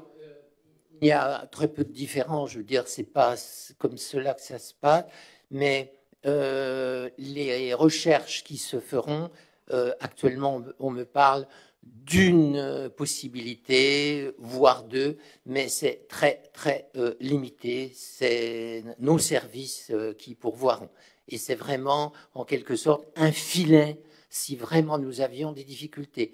Et je replace cette question par rapport aux difficultés de recrutement dans la fonction publique territoriale. Ça devient effectivement de plus en plus dur. Vous savez, il faut de la souplesse dans la gestion, mais actuellement, le problème que nous rencontrons, c'est la phase de recrutement. Et c'est loin d'être simple. Et nous ne sommes pas les seuls, d'ailleurs, à maudire ces difficultés. Toutes les communes de France et de Navarre rencontrent ce genre de difficultés. Pas d'objection? Adopté. Alors, point suivant. Alors, le point 13, il est très rapide. C'est l'adéquation entre euh, les postes qui existent et puis euh, les euh, fonctionnaires qui les occupent pour caler exactement leur qualification par rapport aux tableaux qui sont prévus. Donc, en fait, c'est une gestion très courante. Pas d'objection? Adopté. Alors, on poursuit. Euh, le, point euh, donc 14, euh, c'est le recours éventuellement donc à une personne qui pourrait conseiller des élus. Vous savez que nous payons, ça je parle en toute liberté, les évolutions de la judiciarisation et il est vrai que dans toutes les institutions, euh, même au Sénat, à l'Assemblée nationale, euh, vous avez euh, des conseillers de ce type, des postes qui ont été créés, car il faut toujours, quand on prend des décisions, notamment en tant qu'élu, se méfier des conditions dans lesquelles la décision a été prise. Donc, si un jour un des élus a besoin d'un euh, conseil par rapport à la déontologie, c'est un mot qui actuellement euh, est, très important dans la fonction publique et dans la fonction publique territoriale, mais de façon générale dans l'administration publique, cet élu pourra faire appel à ce conseiller. Vous voyez, tous les éléments sont donnés, un magistrat honoraire tribunal administratif qui pourra lui donner tous les conseils et, éviter que cet élève se trouve en difficulté. Mais je pense et j'espère que là encore, ce sera un filet et que c'est simplement une hypothèse. J'ajoute que nous agissons avec la CA, la communauté d'Aglo, dans ce domaine. Pas d'objection? Adopté. Alors j'en viens maintenant à la nécessité de lire. Il y avait encore un article d'ailleurs ce matin dans le Figaro, et c'est une nécessité absolue. Cessons les clavardages. Allez, oui, nous avons une, association Lire et Faire Lire à Maison Lafitte qui est très présente dans nos écoles. ils interviennent pratiquement dans toutes les écoles sur le temps de la restauration. Donc, euh, nous avions déjà eu le label Ma commune aime lire et faire lire en je ne sais plus quelle date. Euh, ça remonte à quelques années. Donc, on vous demande de, l'autorisation de redemander ce label. Alors, on poursuit. C'était le point 15 en chiffres romains. Alors là, euh, Franck, qu'est-ce que tu fais Eh bien, je vous propose une dépense extrêmement onéreuse de 210 euros pour l'adhésion du directeur des finances à l'association Finance, Gestion, Évaluation des collectivités territoriales, la FIGES. C'est une demande intuitive personnelle, mais forte de la part euh, d'un agent qui travaille très bien, mais qui doit toujours, surtout en matière budgétaire, euh, se former et euh, surtout suivre les actualités. Pas d'objection, adopté. Et enfin, Marie-Liès Salin, mm. adhésion d'une commune de Tremblay en France. Allez-y. Il, il, vous est proposé d'approuver les adhésions au CIFUREP des communes de Tremblay en France et Neury au titre des compétences services extérieurs des pompes funèbres, ainsi que les adhésions de Coubron et Ormesson-sur-Marne pour les compétences services extérieurs des pompes funèbres et crématorium et sites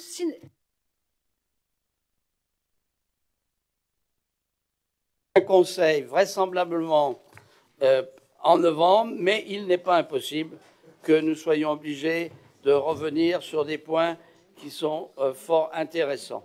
Voilà, je vous souhaite le bonsoir et à très bientôt.